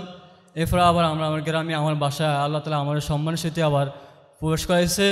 আলহামদুলিল্লাহ এখন খুব ভালো আছে। কিন্তু আমার এই জায়গায় মনে হইতেছে যে কত মানুষ সবাই এরকম এখানে একাত্রিতভাবে আসি শান্তিতে আসি মনে হয় কোনো ভয় নাই। কিন্তু যে এখন আমি আমার বাসা বাড়িতে যে রওনা দিব, মনে হয় যে বাসে উঠলেই মনে হয় যে আমার অ্যাটাক করা শুরু হয়ে যাব এই অবস্থায় আমরা যুব সংঘের কার্যক্রম করতে আসি আপনারা আমাদের জন্য দোয়া করবেন, ইনশাআল্লাহ। আমার একটাই কথা রাসুল সাল্লাহ সাল্লাম বলেছেন অলার নবী সাল্লাহ সাল্লাম ইন্নামালা আমল বিন নিয়াত সমস্ত কাজের ফল হলো নিয়তের উপর। আমার নিয়ত যদি থাকে আহলাদিসের মাজাজ অনুসরণ করা, আমার নিয়ত যদি থাকে রাসুল সাল্লাহ সাল্লামের সুন্দর অনুসরণ করা পৃথিবীর সকল মানুষ যে আমাকে নিযুক্ত করে ফেলে, আমার নিয়ত যে আল্লাহর জন্য থাকে আল্লাহ তালা আমাকে কবুল করবেন। আমি এই নিয়তের উপরে ভর করে, ইনশাআল্লাহ আমি যুব সংঘের কাজ এবং আমার সাথীদেরকে নিয়ে কার্যক্রম করতে আসছি। আপনারা আমাদের জন্য দোয়া করবেন। আর আমি আমার এই যুব সংঘের কেন্দ্রীয় কমিটির কাছে একটা আহ্বান করব যে আপনারা আমাদের প্রত্যেকটা জেলায়, বাংলাদেশের প্রত্যেকটা জেলায় আপনারা কমিটি গঠন করেছেন। কমিটির কার্যক্রম চলতে আছে ইনশাআল্লাহ। কিন্তু আমাদের জেলাতে কেন্দ্রীয় কমিটির থেকে লোকজন খুব কম যায়।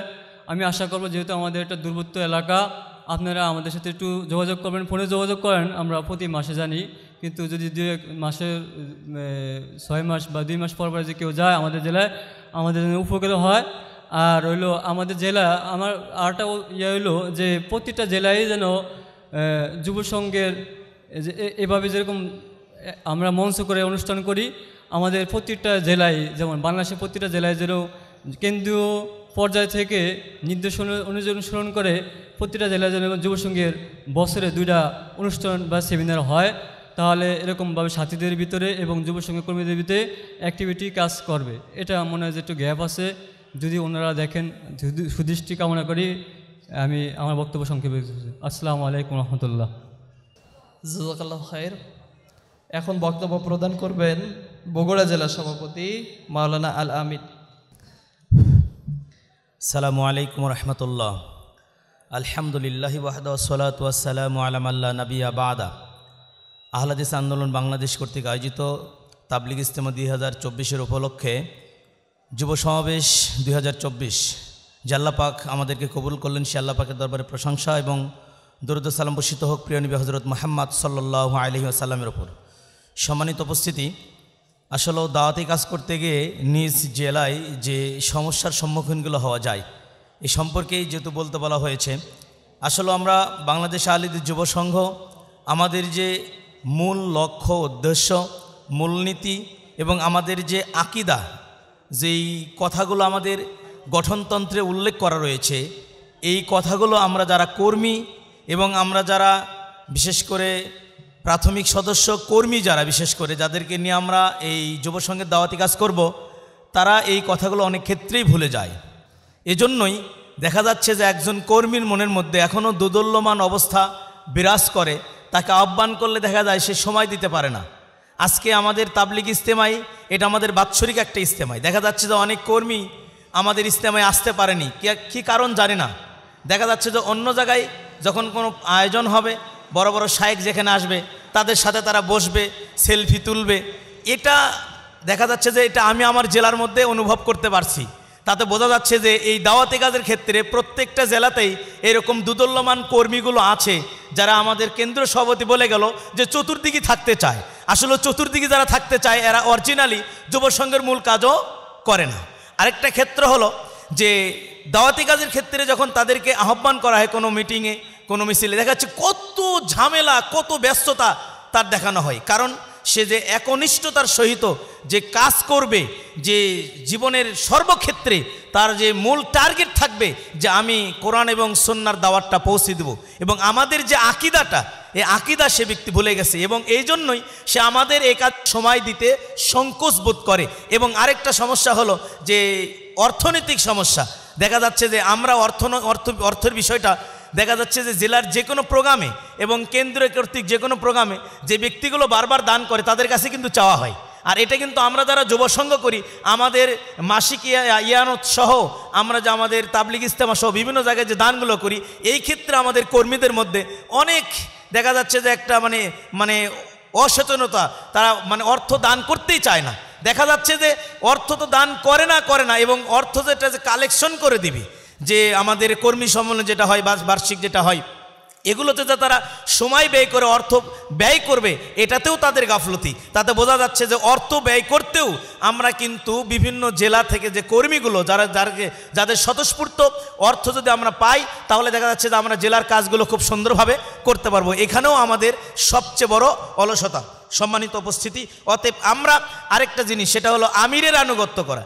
আমিরের আনুগত্য করতে গিয়ে আমরা কেন্দ্রকে যেভাবে জেলা মানব, ঠিক সেভাবে জেলার আনুগত্যশীল জেলা সভাপতি এবং জেলা সেক্রেটারি, বিশেষ করে সেক্রেটারিও যদি জেলা সভাপতির কথা না মানে জেলার মূল গভর্নিং বডি যদি জেলা সভাপতির কথা না মানে তাহলে সংগঠন করব কীভাবে? এটা দুঃখ, এজন্য আমি কেন্দ্রের প্রতি অনুরোধ করব যে আমার জেলাতেও এরকম দেখা যাচ্ছে যে জেলা দায়িত্বশীলের মধ্যে অনেকে আজকে ইস্তেমে অনুপস্থিত। এই যুব সমাবেশে অনুপস্থিত। এগুলো আমাদেরকে যে আমরা কথা বললে তারা হয়তো শুনতে চায় না। কেন্দ্র যদি তাদের সঙ্গে একটু যোগাযোগ করে যে মাসিক আনতগুলো দিয়েছে কিনা, তারা মিটিংয়ে উপস্থিত হয়েছে কিনা আলাদাভাবে যদি ফোন দেয়, তাহলে আশা করা যায় যে একটু কাজের অগ্রগতি হবে। এই সম্পর্কে আমি সংক্ষিপ্ত যেহেতু সময় শেষ হয়ে গেছে দিনের এই কাফেলি, এই কাফেলাই কবুল করুক, আমরা বলি আল্লাহ আমিন। এবং একনিষ্ঠতার সহিত পরকালের সাথে আল্লাহ যেন আমাদেরকে সময় এবং আর্থিক ব্যয় করার মন মানসিকতা তৈরি করে দেয়। আল্লাহ সেই তৌফিক দান করুন, আমরা বলি আল্লাহ আমিন। আসসালামু আলাইকুম রহমতুল্লাহ। ধন্যবাদ মোহতারাম সভাপতি মহোদয়কে। জামাতবদ্ধ জীবনযাপনের ক্ষেত্রে আনুগত্য খুবই গুরুত্বপূর্ণ। এই জন্য আমাদের প্রতিটি কর্মীকে আনুগত্যশীল কর্মী হতে হবে। যদি আমাদের নিজেদের মধ্যেই আনুগত্য না থাকে, তাহলে ঐক্যে ফাটল সৃষ্টি হবে। মোতারাম উপস্থিতি এ পর্যায়ে সর্বশেষ জেলা সভাপতিদের মধ্যে বক্তব্য সর্বশেষ নিয়ে আসছেন বক্তব্য প্রদান করবেন সিলেট জেলা সভাপতি তোফায়েল আহমদ। আসসালামু আলাইকুম ওরহমতুল্লাহ বরকাত ইন্নাল হামদালিল্লাহ ওসলাতু ওসালামু আলা রাসুলিল্লাহ। আম্মাবাদ বাংলাদেশ আহলে হাদিস যুব সিলেট জেলা কর্তৃক আয়োজিত আজকে যুব সমাবেশের সম্মানিত প্রধান অতিথি, সম্মানিত সভাপতি, আমার সামনে উপস্থিত ইলমে তাওহিদের জ্ঞান পিপাসু মুসলিম বায়রা আল্লাহ সুবাহানাহ তালা আমাদের সকলকে উক্ত যুব সমাবেশে উপস্থিত হওয়ার তফিক দান করেছেন। আমরা প্রত্যেকেই আল্লাহর দরবারে শুক্রিয়া আদায় করছি, আলহামদুলিল্লাহ। সম্মানিত উপস্থিতি বাংলাদেশ আহলে হাদিস যুব সংঘ এমন একটি দাওয়াত দিয়ে যাচ্ছে যা পৃথিবীর কারোর সাথে কোনো দ্বিমত নেই। ঠিক না বেঠিক? কারণ আহলে হাদিস আন্দোলন বাংলাদেশ বাংলাদেশ আহলে হাদিস যুব সংঘ কোনো ব্যক্তির বিরুদ্ধে দাওয়াত দিচ্ছে না। কোনো প্রতিষ্ঠানের বিরুদ্ধে দাওয়াত দিচ্ছে না, কোনো সংস্থার বিরুদ্ধে দাওয়াত দিচ্ছে না, কোনো ফাউন্ডেশনের বিরুদ্ধে দাওয়াত দিচ্ছে না। আহলে হাদিস আন্দোলন বাংলাদেশ বাংলাদেশ আহলে হাদিস যুব সংঘ কিসের দাওয়াত দিচ্ছে? শিরিক এর বিরুদ্ধে এবং তাহিদের পক্ষে। সম্মানিত উপস্থিতি, রাসুলুল্লাহ সাল্লাহ আলাইসাল্লাম যে আদর্শ প্রতিষ্ঠা করার জন্য পৃথিবীতে এসেছিলেন আহলে হাদিস আন্দোলন, বাংলাদেশ ও বাংলাদেশ আহলে যুবসংঘ যুব সংঘ সেই আদর্শ প্রতিষ্ঠার কাজ চালিয়ে যাচ্ছে, ঠিক না বেঠি? সম্মানিত উপস্থিতি, আমরা যদি সেই আদর্শের উপরে টিকিয়ে থাকি, সেই আদর্শের দাওয়াত দিয়ে যাচ্ছি, যারা ঐক্যর ফেরিওয়ালা সহি আকিদার দাবিদার, নামদারি আহলে হাদিস, যারা ঐক্যর দাবিদার, তারা কেন আজকে বাংলাদেশ আহলে হাদিস যুব সংঘের প্রত্যেক কাজে বাধা দিচ্ছে? তারা কর্মীর কাছে বাধা, প্রতিষ্ঠানে বাধা সমাবেশের বাধা কালেকশনের বাধা, প্রত্যেক কিছুতেই বাধা। অতএব তাদের বাধার মধ্যে পরিষ্কার হয়ে যাচ্ছে, তারা বাংলাদেশ আহলে হাদিস যুব সংঘের সাথে তারা কখনো একমত নয়। তারা একমত নয় অথচ আবার তারা কি করছে? ঐক্যের নামে কি করছে? দাবি জানাচ্ছে। সম্মানিত উপস্থিতি, সহি আখিদার দাবিদার, নামদারি আহলে আদিস্তার কারণে বিশেষ করে সিলেট জেলায় যুব সংঘ পরিপূর্ণভাবে কাজ করা যাচ্ছে না। সহি আকিদার দাবিদার, নামদারি আহলে আদিস্তার কারণে আমরা আমাদের কর্মীকে দাওয়াত দিলে কর্মী আমাদের কাছে ফর্ম ফিল করলে তারা পিছনে পিছনে আবার কানে কানে কথা বলে বলে সংগঠন হারাম। আবার তারাই ফতোয়াদের সঙ্গ ফাউন্ডেশন আরাম। সম্মানিত উপস্থিতি, তাদের কাছ থেকে দূরে থাকতে হবে, তাদের জন্য আমরা হেদায়তের দোয়া করি। তাদেরকে বলে দিতে চাই, আপনাদের টাকা আছে, ক্ষমতা আছে, আহলে হাদিস আন্দোলন বাংলাদেশ, ও বাংলাদেশ আহলে হাদিস যুব আল্লাহ আছেন। ইনশাআল্লাহ। সম্মানিত উপস্থিতি, সবার কাছে দেওয়ার পরামর্শ। সিলেট থেকে অতীতে এক গাড়ি বাস আসে নাই। দুই হাজার চব্বিশ, দুই হাজার তেইশ, এই দুইটা বছর যুবসংঘের আপনাদের দোয়া এবং কর্মীদের মেহনতের কারণে আমরা এবছরে একটি বাস নিয়ে এসেছি। দোয়া করবেন, ভবিষ্যতেও যেন এর চাইতে বেশি বেশি করে আমরা নিয়ে আসতে পারি। এই বলে আমার সংক্ষিপ্ত বক্তব্য এখানে শেষ করলাম। আসসালামু আলাইকুম ওরহমতুল্লাহ বরাকাত জাজাকাল্লাহ খায়ের সুধীমণ্ডলী আমাদের জেলা সভাপতিদের বক্তব্যের পালা শেষ। এ অধিবেশনে কেন্দ্রীয় দায়িত্বশীল বৃন্দের পক্ষ থেকে আপনাদের উদ্দেশ্যে সংক্ষিপ্ত কিছু নসিহাত। প্রথমেই নসিহাত প্রদান করবেন বাংলাদেশ আহলেদিস যুব সংঘের কেন্দ্রীয় সমাজ কল্যাণ সম্পাদক এবং আল মার্কাজুল ইসলামিয়া সালাফের শিক্ষক ভাই ফাইসাল মাহমুদ। আসসালামু আলাইকুম ওরহমতুল্লাহ আবরাকাত আলহামদুলিল্লাহ ওসালাত ওয়াসালাম আলা রসুলিল্লাহ।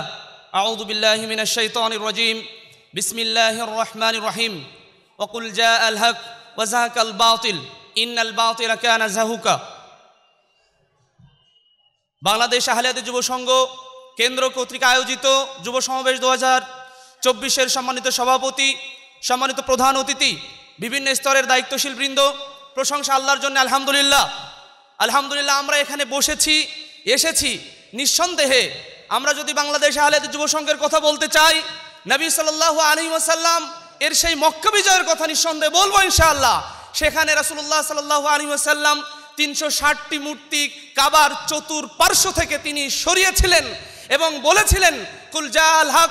আল্লাহ রাব্বুল আলমিন ওহিনাজিল করেছিলেন। হ্যাঁ আপনি বলুন যা আল হক হক এসেছে এবং বাতিল দূরীভূত হয়েছে, আর বাতিল তো চিরদিন দূরভূত হওয়ারই জিনিস। সুতরাং আমরা বলব, এক্ষেত্রে দুইটি নসিহা। আমরা যে উদ্দেশ্যে জমায়েত হয়েছি, সেই উদ্দেশ্য যেন ঠিক থাকে এবং সাথে সাথে ইস্তেকমা সম্মানিত সভাপতি সাহেব যেটা বলেছেন আমরা যেন অতিথি পাখির মতো এসে আবার কিছু সময় অবস্থান করে এই সহি প্ল্যাটফর্ম থেকে, সহি হাদিসের প্ল্যাটফর্ম থেকে আমরা দূরে সরে না যাই। মহান আল্লাহ রাব্বুল আলমিন আমাদেরকে কবুল করুন আল্লাহ আমিন। আমরা যদি আমাদের সফলতা দেখতে চাই, আমরা শুধুমাত্র মসনদে যেতে চাই না, আমরা আকিদার সংশোধন করতে চাই। এজন্যেই যুব সংঘকে দেখলেই এক শ্রেণির মানুষ কিন্তু আলহামদুলিল্লাহ তারা আমাদের নাক সিটকায় বিভিন্ন কথা বলে।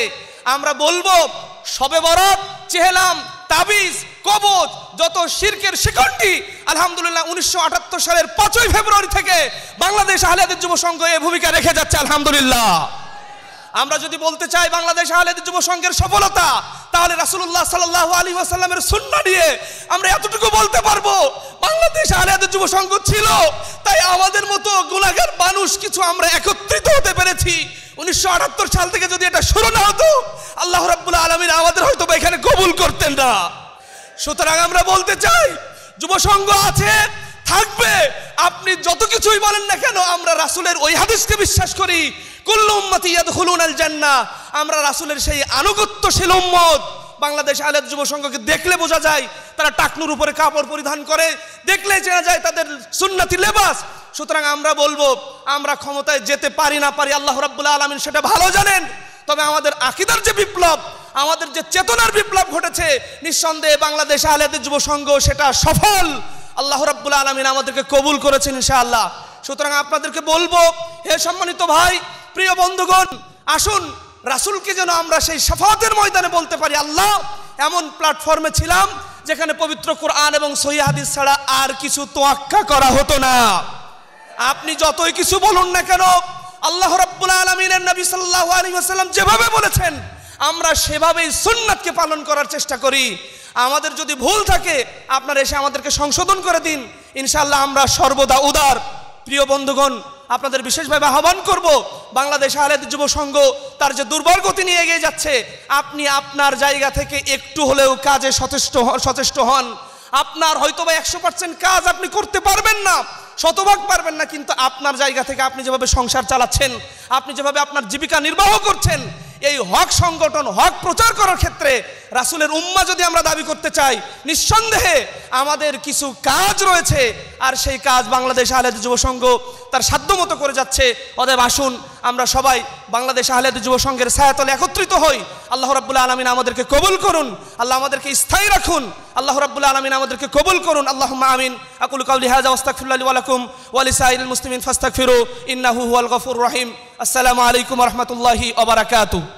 এ পর্যায়ে সংক্ষিপ্ত বক্তব্য প্রদান করবেন বাংলাদেশ আহলেদ যুব সংঘের কেন্দ্রীয় তথ্য ও প্রকাশনা সম্পাদক মুজাহিদুর রহমান السلام عليكم ورحمة الله إن الحمد لله وحده والصلاة والسلام على من لا نبي بعده أعوذ بالله من الشيطان الرجيم بسم الله الرحمن الرحيم وأن هذا صراطي مستقيما فاتبعوه ولا تتبعوا السبل إلى آخر آيات বাংলাদেশ আহলে যুবসংঘ কর্তৃক আয়োজিত আজকের এই যুব সমাবেশের সম্মানিত সভাপতি, সম্মানিত প্রধান অতিথি এবং সামনে উপবিষ্ট যুবসংঘের বিভিন্ন দায়িত্বশীলবৃন্দ, সর্বপ্রথম মহান আল্লাহ তালার বর্গায় প্রশংসা জানাই।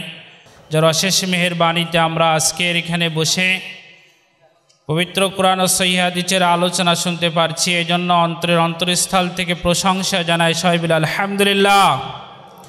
দ্রুতবসিত হোক রাসেলের উপরে, যার তেইশ বছরের বৈপলীপ সাধনায় যেই মুহূর্তে আরব জাতির মধ্যে মারামারি, কাটাকাটি, হানাহানি, রক্তের হোলি খেলা চলছিল, ঠিক সেই মুহূর্তে আরব জাতির ভাগ্য আকাশে শান্তির মশাল নিয়ে আগমন করেন, যার তেইশ বছরের বৈপলীপ সাধনায় পশুর সমতুল্য মানুষগুলো তার পরশের সোনায় পরিণত হয়েছিল। সেই মহামানব আকাইদার নামদা তাজদার মুদিনা কিবলতাইন হিজরতাইন আহম্মদ মুস্তফা মুহাম্মদ মুস্তফা সাহেবুল সাল্লাহ সাল্লাম সম্মানিত উপস্থিতি, হকের দিশা দিচ্ছে একমাত্র বাংলাদেশ আহলেদির যুব সংঘ। ঠিক না বে ঠিক? সুরা নামের একশো তিপ্পান্ন নম্বর আয়াতটি তেলোয়াত করেছি। ইসলাম নিরন্তন শান্তির চিরন্তন আধার, নির্যাতিত, অত্যাচারিত, বাস্তহারা মানুষ সর্বদা এখানে স্থান পেয়েছে। অজ্ঞতা, অন্যায়, অসত্যর আগ্রাসনে ধরাপৃষ্ঠে যখন নিষ্পেষিত তখন ইসলাম তার নিজস্ব সুশুলে এই ধরুণীকে বিধৌত করেছিল, ইসলাম সজ্জিত হয়েছিল মহাশান্তির উদ্যানে। কিন্তু এই আবহমান ধারাটি বেশি দিন স্থায়ী থাকেনি। রাসুল সাল্লাহ সাল্লামের তিরোধানের পর ইসলামের মধ্যে অসংখ্য দল ও মতের আবির্ভাব ঘটে এবং ইসলামের মূল ঐতিহ্য ভেঙে খান খান হয়ে যায়। বিশেষ করে সেই সময় যে সমস্ত দলের আবির্ভাব ঘটেছিল, অন্যতম চরমপন্থী দল ছিল খারিজি দল। সম্মানিত উপস্থিতি, রাসুল সাল্লাহ সাল্লামের ভবিষ্যৎবাণী অনুযায়ী আবদুল্লাহ ইবনে আব্বাস থেকে বর্ণিত, রাসুল সাল্লাহ সাল্লাম সাহাবিদের সম্মুখে একটি রেখা টানলেন। এরপরে বললেন, এটা হলো জান্নাতের পথ। আঁকা বেঁকা কিছু রেখা টানলেন, দাগ টানলেন, বললেন যে, এগুলোও পথ। কিন্তু এ পথে মানুষরূপে শয়তান বসে আছে।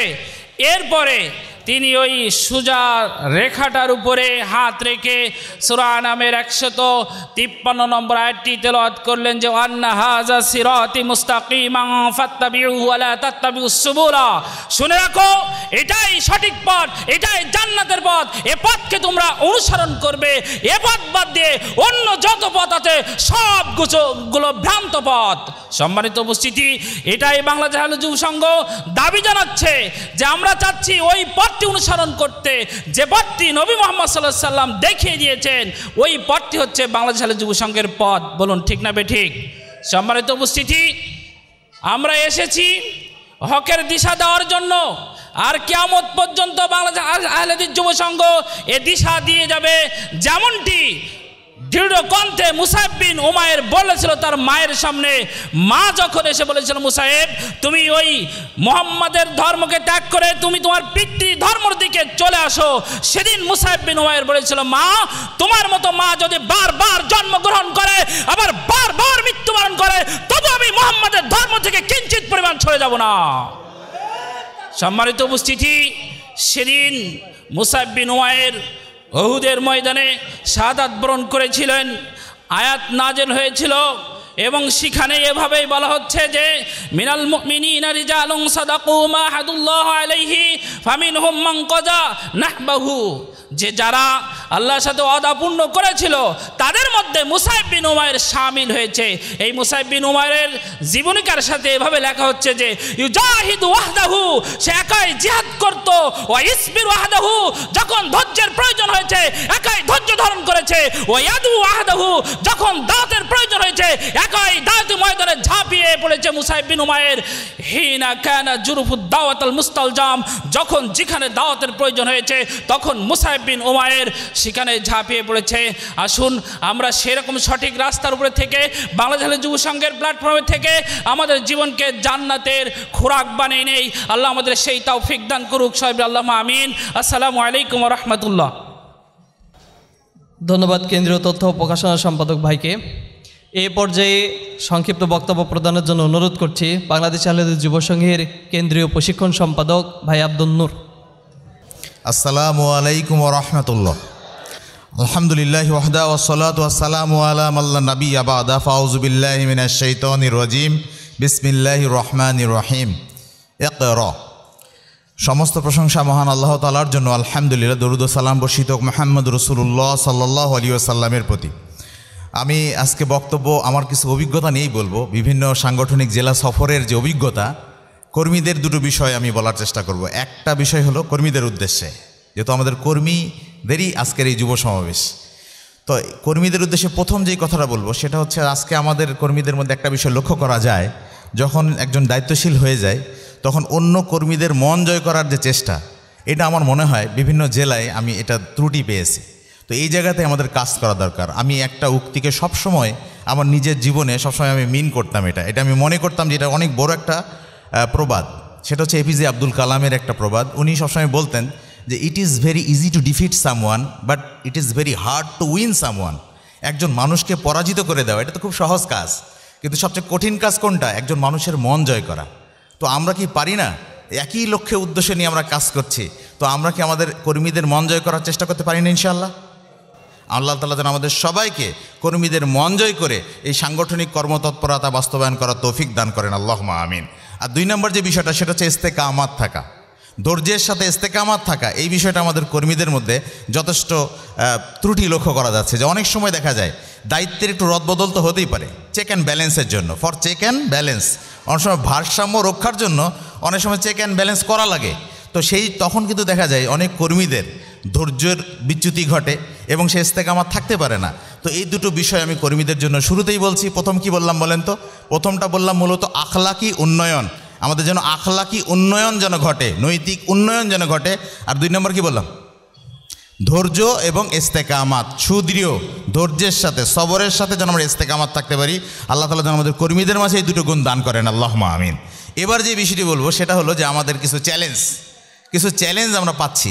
এক, আজকে আমাদের সারা বাংলাদেশে টেকনাফ থেকে তেঁতুলিয়া বা ওইদিকে সুন্দরবন থেকে নিয়ে ধরে নেন খাগড়াছড়ি রাঙামাটি এই যে বিভিন্ন বাংলাদেশকে তো এটাই ঘিরে আছে, তাই না? এখন আমাদের সাংগঠনিক যে কোনো দায়িত্বশীলের লক্ষ্য উদ্দেশ্য আর আমাদের যারা সমর্থক তৈরির জন্য ব্যস্ত, যারা তাদের ভক্ত ফ্যান ফলোয়ার তৈরির জন্য ব্যস্ত, তাদের লক্ষ্য উদ্দেশ্য কি? এক, যে ওই সমস্ত কনফারেন্স ওই সমস্ত বড় বড় সম্মেলন ওই সম্মেলনের যারা ভক্ত শ্রোতা আছে, তাদেরকে যদি ডেকে ডেকে জিজ্ঞেস করা হয়, লক্ষ্য উদ্দেশ্য কি আপনাদের? এক হবে নাকি ভিন্ন ভিন্ন হবে? এই যে ভিন্ন ভিন্ন যদি হয়, তাহলে এটা কি তাদের তো লক্ষ্য উদ্দেশ্যই এক নয়? তাহলে এই জায়গাটাতেই তো তাদের ঐক্য হবে না। আর আমাদের আর যাই হোক, আমাদের কর্মীরা টেকনাফে থাকুক আর তেঁতুলিয়ায় থাকুক রাঙামাটি থাকুক আর সুন্দরবন এর কর্মকর্তা হোক, আমাদের তো লক্ষ্য উদ্দেশ্যের জায়গায় আমরা ঐক্য অটোমেটিক হয়ে আছে, আলহামদুলিল্লাহ। হয়নি? তো এই লক্ষ্য উদ্দেশ্যের জায়গাতে আমাদের ঐক্য অলরেডি আছে। তো যারা লক্ষ্য উদ্দেশ্যই যাদের এক না, তারা আবার ঐক্যের বেশি ডাক দিচ্ছে। তো এটা নিয়ে আমাদের বিচলিত হওয়ার কোনো সুযোগ নাই। দুই নম্বর বিষয় হচ্ছে যে আজকে আমরা একটা আয়াতকে আমরা একটু হৃদয়ে লালন করার চেষ্টা করি। সেটা হলো যে আল্লাহ তালা বলছেন যে তোমাদের মধ্যে একটা দল থাকা চাই, তাই না? সুর আলিম একশো চার নম্বর আয়াত। সেই দলের বৈশিষ্ট্য কী হবে? এদ এদৌনাল খৈর তারা মানুষকে কল্যাণের দিকে ডাকবে। তারপর কি করবে? এই কল্যাণটা কি সৎ কাজের নির্দেশ দিবে? অসৎ কাজের কি করবে? নিষেধ করবে। এখানে ভট্ট সমর্থকদেরকে বলব যারা ভক্ত সমর্থক তৈরির জন্য ব্যস্ত, তারা কি তাদের এই ভক্ত সমর্থকদেরকে নির্দেশ দিতে পারবে? সর্বদর কি করতে পারবে? অনুরোধ করতে পারবে?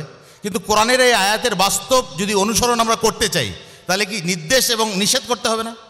তো আমরা কি আমাদের কর্মীদেরকে নিষেধ এবং আদেশ দিতে পারব না? পারব না পারব না। কেন আমরা একটা অভিন্ন লক্ষ্যে আমরা অঙ্গীকারাবদ্ধ? এজন্য আমাদের কর্মীরা সেই আদেশ, নির্দেশ মানতে কি বাধ্য থাকবে? তাহলে ওই আয়াতের বাস্তবায়ন করতে গেলে আমাদের কর্মী গঠন করতে হবে নাকি সমর্থক ভক্ত বানাতে হবে?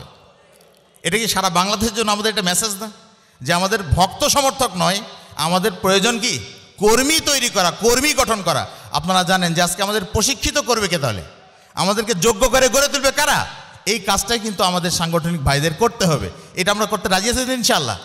আল্লাহ তালা আমাদেরকে করার তৌফিক দান করুক। আল্লাহ মামিন এবার একটা বিষয় সেটা হলো যে আজকে অনেক সময় বলা হচ্ছে যে আজকে আমরা সাংগঠনিক জীবনযাপন যে করছি, এটা একটা বাস্তব চিত্র আমরা সেই মোতার যুদ্ধ থেকে নিই। মোতার যুদ্ধে যখন তিনজনকে যখন আল্লাহ রসুল আল্লাহ রসুল সাল্লাহ সাল্লাম যখন তিনজনকে যখন সেনাপতি নিযুক্ত করলেন, প্রথম কে ছিল জায়েদ বিন হারেসা, দুই নম্বর কে ছিল? জাফর বিন আবু তালিব, তিন নম্বর আব্দুল ইবনে রাহা এই তিনজনকে আল্লাহ রসুল সাল্লাম নিজে মনোনীত করে দিলেন জিহাদের জন্য, মোতার যুদ্ধের জন্য। কোথায়? তিন হাজার, আর এগেনস্টে দুই লক্ষ। মানে বাতিলপন্থী, শত্রুপক্ষ দুই লক্ষ আর তিন হাজার। এই তিনজন সেনাপতি কি মারা গেছিল না? ঘটনাটা অনেক লম্বা।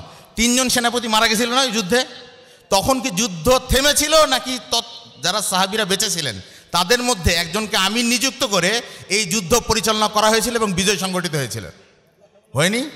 তাহলে আজকে আমরা বলতে পারি যে সারা বাংলাদেশে, সারা পৃথিবীতে কোথাও আল্লাহ রসুল সাল্লামে রেখে যাওয়া সেই ব্যবস্থাটা নাই, তাই না? কিন্তু সেই জিহাদ কি থেমে আছে? তো ঠিক তেমনি খালিদ বিন ওলিদের নেতৃত্বে সেই দিন যেমন, সেই দিন যেমন যুদ্ধে বিজয় লাভ করা গেছিল, ঠিক তেমনি আজকে আমরাও আমাদের মহতারা আমিরে জামাতের নেতৃত্বে আমরা যদি এই দাওয়াত জিহাদের ময়দানে আমরা যদি সংগ্রাম করতে পারি ইনশাল্লাহ আমাদের বিজয় আসবে না ইনশাল্লাহ কারণ আমরা কি মনে করি, মুক্তির একই পথ? তো এই জিহাদের কর্মসূচি বাস্তবায়ন করার জন্য আমাদের আমির লাগবে না। তো এই জন্য আপনারা কি বিচলিত? আল্লাহ তালা যেন আমাদের সবাইকে এই জিহাদি ময়দানে যেন একেবারে মানে এক ইস্তেকামাতের সাথে যেন টিকে থাকার তৌফিক দান করেন। আল্লাহ আমিন। এবং শেষ করছি আরেকটা বিষয় বলে, সেটা হচ্ছে আমাদের বই পড়া। আপনারা জানেন সবাই যে পবিত্র কর্ণের প্রথম শব্দটাই একর পড়ো।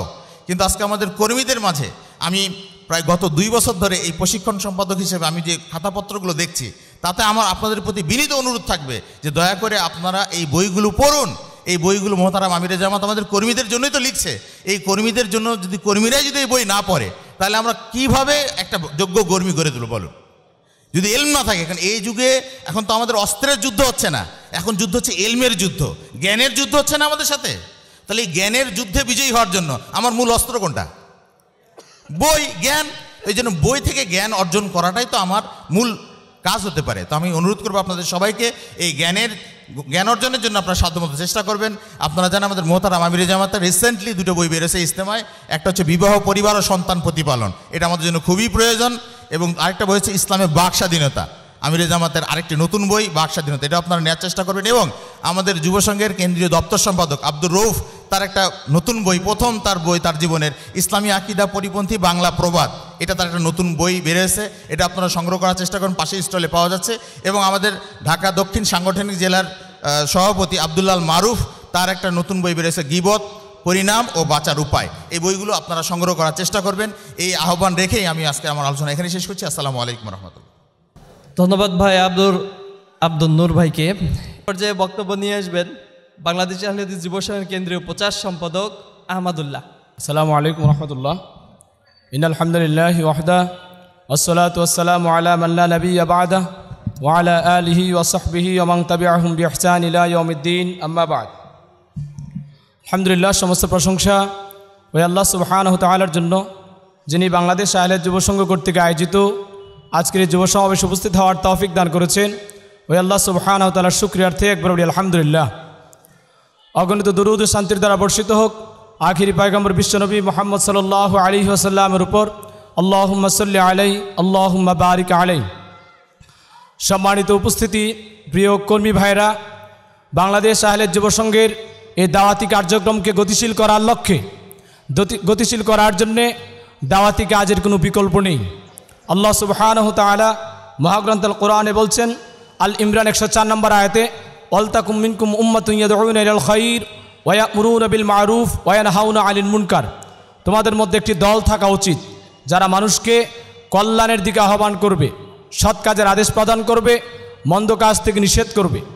বর্তমান সময়ে বিজাতীয় সংস্কৃতির আগ্রাসন, বিজাতীয় সংস্কৃতির আগ্রাসন, তার পাশাপাশি ইসলামের নামে প্রচলিত বিভিন্ন রসম, রেওয়াজ, বিভিন্ন মতবাদ আমাদের সমাজে সয়লাভ হয়ে যাচ্ছে।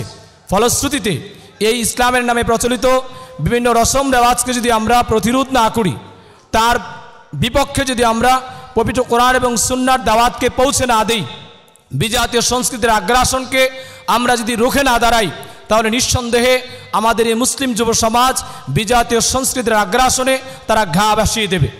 সেই লক্ষ্যে আমাদেরকে অবশ্যই পরিকল্পিতভাবে দাওয়াতি কাজ করতে হবে। আজকে আলহামদুলিল্লাহ সালাফি দাওয়াত, আহলে হাদিস মুভমেন্টের দাওয়াত বাংলাদেশে ব্যাপকভাবে প্রচার এবং প্রসারিত হচ্ছে। তবে লক্ষ্য করা যাচ্ছে এই দাওয়াতি ময়দানে অপরিকল্পিত উদ্যোগের কারণে, অপরিকল্পিতভাবে দাওয়াতি ময়দানে কাজ করার কারণে ইকলাসবিহীন কাজ করার কারণে আমাদের দাওয়াতি ময়দানগুলো কখনো কখনো আমরা ঘৃণার ছলে আমরা এটাকে পূর্ণ করে দিচ্ছি।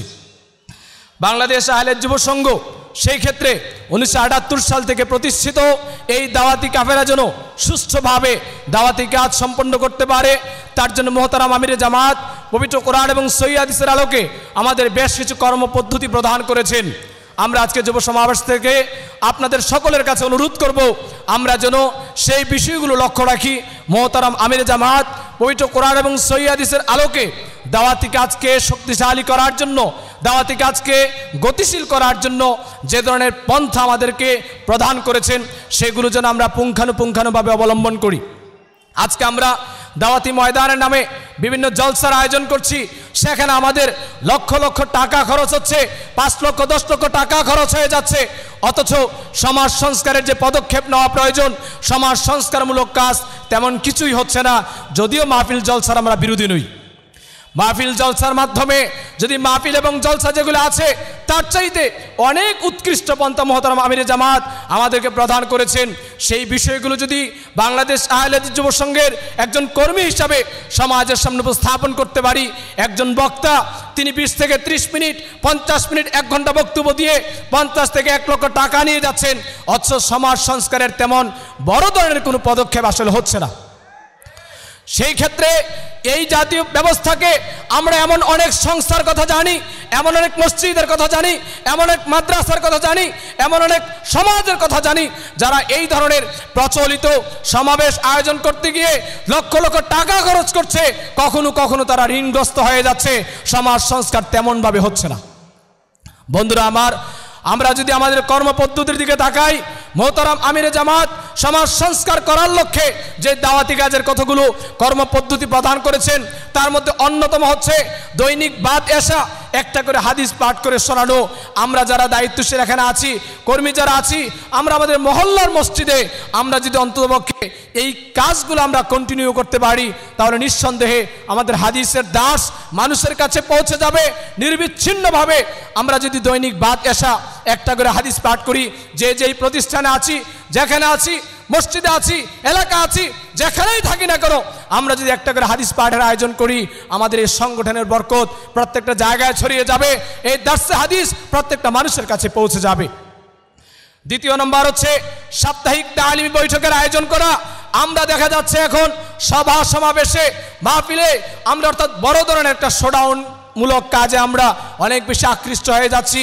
কিন্তু আমরা যদি গঠনমূলকভাবে সাপ্তাহিক তালিমি বৈঠক করি, পবিত্র কোরআন এবং সৈয়াদিস থেকে বিষয়ভিত্তিক মানুষকে শিক্ষা দান করি সালাদ শিক্ষা দেই, তাওহিদ শিক্ষা দেই, শির শিক্ষা দেই, সুন্নাত শিক্ষা দেই, হোক না সেটা আধা ঘণ্টা, হোক না সেটা পঁয়তাল্লিশ মিনিট, হোক না সেটা পঁচিশ মিনিট, ধারাবাহিকতার কাজ যদি আমরা করে থাকি, সাপ্তাহিক তালিমি বৈঠকের যদি আয়োজন করি, তাহলে সমাজের দাওয়াতি কাজ আমাদের আরও বেশি ভগবান হবে। আপনি বছরে একবার মাহফিলের আয়োজন করবেন। তার চাইতে আপনি যদি বাউন্নটা সপ্তাহ আছে বাউন্নটা শুক্রবার আছে, বাউন্নটা সপ্তাহে যদি আব্দুল ইবনে মাসউদ রাদিয়াল্লাহু আনহু প্রত্যেক বৃহস্পতিবারে দাসের ব্যবস্থা করতেন, মোহতারাম আমির জামাত, সেই আদিসের আলোকে আমরা বলতে পারি, আহলে হাদিস আন্দোলন বাংলাদেশ বাংলাদেশ আহলে যুব সংঘ সাপ্তাহিক তালিম বৈঠকের যে আয়োজন করেছে, নিঃসন্দেহে এটা কোরআন এবং হাদিস সম্মত। আমি আপনাদেরকে অনুরোধ করব, আমরা যেখানেই আছে না কোনো, সাপ্তাহিক তালিম বৈঠকের এই অগ্রযাত্রাকে যেন আমরা অব্যাহত রাখি। তৃতীয় নম্বর হচ্ছে, আমরা যেন পরিকল্পিতভাবে জুমার খুতবার আয়োজন করি। আহলাদিস আন্দোলন বাংলাদেশ বাংলাদেশ আহলের যুব সংঘ, সোনামণি প্রত্যেকটা জেলার দায়িত্বশীল বৃন্দ যদি মাসিক পরিকল্পনার ক্ষেত্রে ওই চারটা জুমা থাকে সাধারণত, চারটা জুমায় কোন মসজিদে জুমা হবে, বিষয়ভিত্তিক কী হবে, এক জুমায় সারা জেলার প্রত্যেকটা মসজিদে আলোচনা হবে শিরিক নিয়ে, আরেকটা সপ্তাহে আলোচনা হবে বিদাহাত নিয়ে, আরেকটা সপ্তাহে আলোচনা হবে তাওহিদ নিয়ে, আরেকটা সপ্তাহে আলোচনা হবে সুন্নত নিয়ে, আরেকটা আলোচনা হবে আমাদের প্রচলিত বিভিন্ন মতবাদ নিয়ে, সারা জেলাতে একইভাবে দাওয়াতি কাজ হবে, যেখানে আমাদের খুতবাগুলো এখন অনেকটা বাণিজ্যিকভাবে হয়ে যাচ্ছে। একজন খতিব, তিনি একটা খুতবা দিবেন, দশ থেকে পনেরো হাজার টাকা নিয়ে যাচ্ছেন, আর বাংলাদেশ আহলের যুব সংঘের একজন কর্মী হিসাবে নিঃস্বার্থভাবে যদি আপনি শিরকের একটা দাওয়াত, নিঃস্বার্থভাবে মসজিদে দিয়ে আসতে পারেন, আপনার সংগঠনের বরকত এমনিই বৃদ্ধি পাবে। আপনি প্রফেশনাল বক্তা হবেন না প্রফেশনাল বক্তা না হয়ে সাংগঠনিক যে সিদ্ধান্ত আছে, আমরা সংগঠনের যারা দায়িত্বশীল আছি, আমরা অর্থের প্রতি লোভ নই। কেননা মোহতারাম আমির জামাত আমাদের যে কনস্টিটিউশন দিয়েছেন, কেন্দ্রীয় দায়িত্বশীল কোনো ব্যক্তি যদি দাওয়াতি কাজে যায়, তাকে যেই পাথেওটুকু প্রদান করা হয়, সেই পাথেওটুকু তিনি নিজে খরচ করার মতো তার অধিকার নেই। তিনি এই পাথেওটুকু কেন্দ্রে জমা দিয়ে দিতে হয়। আর আপনি বাণিজ্যিকভাবে যে বক্তাদেরকে আহ্বান করছেন, তারা ওই টাকা সাধারণত নিজের পকেটে নিয়ে যাচ্ছে। এই বৈশিষ্ট্য যদি সমাজের কাছে আমরা উপস্থাপন করতে পারি, এই মাঠের মাধ্যমে স্বাভাবিকভাবে আমাদের দাওয়াতি কাজ অনেক বেশি বেগবান হবে। চতুর্থ নম্বর আপনাদের প্রতি আমাদের আহ্বান হচ্ছে, মাসিক তাবলিক ইস্তেমার আয়োজন করা। ওই সমাজের আপনার জেলার মধ্যে মাসিক একটা ইস্তেমার আয়োজন করবেন। জেলার একটা নির্দিষ্ট জায়গাতে যেখানে জেলার সকল কর্মীবৃন্দ উপস্থিত হবে দায়িত্বশীল বৃন্দ উপস্থিত হবে, সারা দিনব্যাপী কিংবা রাত্রব্যাপী আপনি আলোচনা করবেন। আল্লাহ সুবহান ও তাআলা মহাগ্রন্থ কোরআনে বলছেন, ইন্নাল্লাহ ইউহিব্বুল্লাযীনা ইউকাতিলুনা ফি আল্লাহ সুবহান তাদেরকে ভালোবাসেন। যারা সীসাডালার প্রাচীর নেয়, আল্লাহর পথে সংগ্রাম করে সমাজের কাছ থেকে, সমাজ থেকে শিরকে উঠিয়ে নেওয়া, তাওহীদকে প্রতিষ্ঠা করা বিদআতকে মূলোৎপাটন করা, সুন্নাতকে প্রতিষ্ঠা করার জন্যে আমরা যদি এইভাবে অন্ততপক্ষে চারটি কাজের কথা বললাম। এক, দৈনিক বাদ এসা হাদিস পাঠের আয়োজন করা। দুই, আপনার শাখা, এলাকা, মহল্লায়, মসজিদে সাপ্তাহিক তালিমি বৈঠকের আয়োজন করা। তিন পরিকল্পিতভাবে জুমার খুতবা প্রদান করা। চতুর্থ নম্বর হচ্ছে মাসিক তাপলিক ইস্তেমার আয়োজন করা পরিকল্পিতভাবে। আমরা আশা করি বাংলাদেশ আয়ের যুব সংঘের এই কর্মসূচি আমরা পালন করি। যত ব্যক্তি আছে, যত সংস্থা আছে, আর যাই আছে, সংগঠন বিরোধী যারা আছে, সংগঠনভুক্ত একশো ছেলে যদি নিঃস্বার্থভাবে কাজ করে, আর সংগঠনবিহীন কিংবা দুনিয়ার লোভে যারা এক হাজার মানুষ যদি একত্রিত হয়, সংগঠনের নিঃস্বার্থ ব্যক্তি যদি একশোটা ছেলে থাকে, সারা বাংলাদেশ থেকে শিল্প বিদাত মূলোৎপাদন হয়ে সুন্নাত এবং তাওহীদ প্রতিষ্ঠা হবে ইনশাআল্লাহ। অতএব আমরা আহ্বান করছি, আসুন ইকলাসের সাথে নিঃস্বার্থভাবে এই দাওয়াতি কাফেলাতে যোগদান করি। আল্লাহ সুবহান তাআলা আমাদের সকলকে বিশুদ্ধ পদ্ধতিতে বিশুদ্ধ পবিত্র কোরআন এবং সৈয়াদিসের এই দাওয়াতকে, এই দাওয়াতি কাফেলাকে মজবুত করার লক্ষ্যে নিজেদের আত্মনিয়োগ করার তৌফিক দান করুক। আল্লাহ আমিন। আকুল কাউলি হাদা আস্তাকফিরুল্লাহ সাইল মুসলিমিন। আসসালামু আলাইকুম রহমতুল্লাহ। ধন্যবাদ। ভাই আহমদুল্লাহকে কেন্দ্রীয় প্রচার সম্পাদক বাংলাদেশ আহলেদ যুব সংঘ। প্রিয় বন্ধুগণ, এ পর্যায়ে নসিহামূলক বক্তব্য পেশ করবেন বাংলাদেশ আহলেদ যুব সংঘের কেন্দ্রীয় সাংগঠনিক সম্পাদক ডক্টর এহসান ইলাহি জহির। ডক্টর এহসান ইলাহি জহির। আসসালামু আলাইকুম ওরহমতুল্লাহ বরকাত আলহামদুলিল্লাহ ওয়াহদা ওসলাত ওয়াসালাম আলা মাল্লা নবী আবাদা আম্মা বাদ আউযু বিল্লাহি মিনাশ শাইতানির রাজীম। বিসমিল্লাহির রহমানির রহিম। ইয়া আইয়ুহাল্লাযীনা আমানু ইন তানসুরুল্লাহা ইয়ানসুরকুম ওয়া ইউসাব্বিত আকদামাকুম।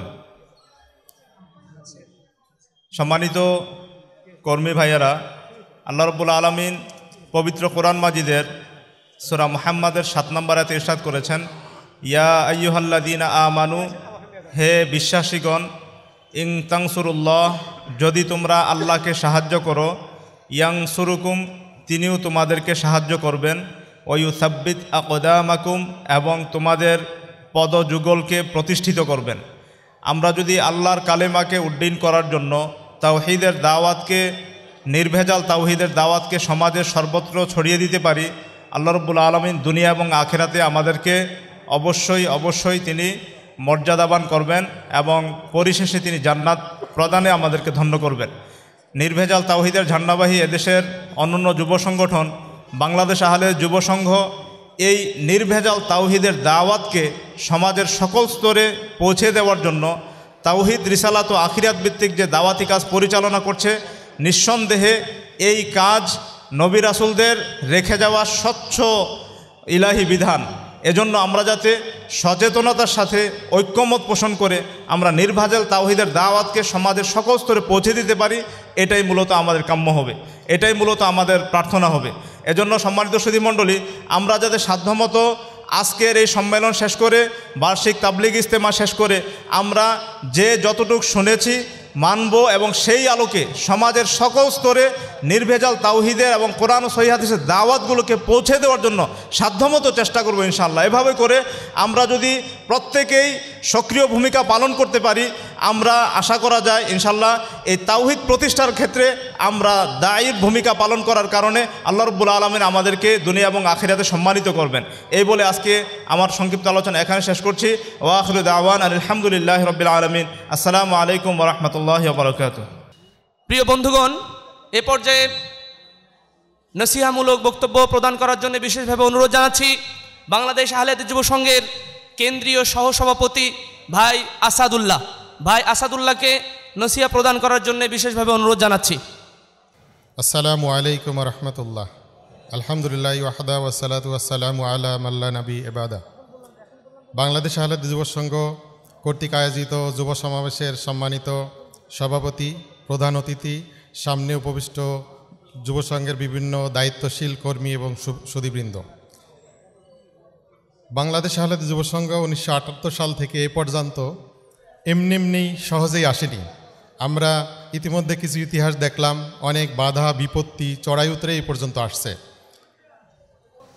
যুবসংঘের অবদান যে কত সেটা আসলে বলে শেষ করা যাবে না। বাংলাদেশ আহলাদ যুব সংঘের মাধ্যমেই আহলাদিস আন্দোলন বাংলাদেশ গঠিত হয়েছে এবং আহলাদিস আন্দোলন বাংলাদেশ আমাদের জন্য একটা বিশাল গবেষণাগার, বিশাল একটা গবেষণা কেন্দ্র। যে কেন্দ্রের মাধ্যমে আমরা ছোট্ট সোনামণিদেরকে গড়ে তুলি, যে কেন্দ্রের মাধ্যমেই আমরা বাংলাদেশে মহিলাদের মাঝে মহিলা সংস্থার মাধ্যমে দাওয়াতি কার্যক্রম পরিচালনা করি।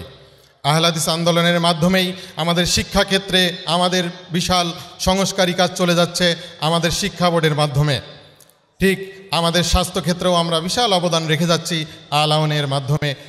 অর্থাৎ যুবসংঘ রাষ্ট্রেরও বলা যায় রাষ্ট্রের একটা প্রশাসনের অঙ্গ বললেও ভুল হবে না। কারণ বাংলাদেশ সরকার বিভিন্ন প্রশাসনের মাধ্যমেই মাদক মুক্ত বিভিন্ন অন্যায়, অপরাধমূলক কাজের জন্য যেমন কাজ করে যাচ্ছে, কিন্তু বাংলাদেশ আহ্লাদি যুব সংঘও কিন্তু সেই কাজগুলো করে যাচ্ছে। বাংলাদেশ আহ্লাদি যুব সংঘের কোনো কর্মী, কোনো দায়িত্বশীল নেশা পান করেন না। তার মানে বাংলাদেশের যে প্রশাসন আছে, এদের জন্য তাদের কোনো সময় ব্যয় করা লাগে না।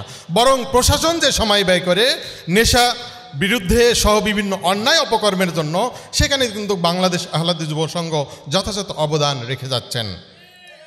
বাংলাদেশ আহ্লাদি যুব সংঘের বিরুদ্ধে বিভিন্ন মাধ্যম, এই ঐক্যবদ্ধ সংগঠনের বিরুদ্ধে অনৈক্যর বিভিন্ন গ্রুপ ঐক্য হচ্ছে।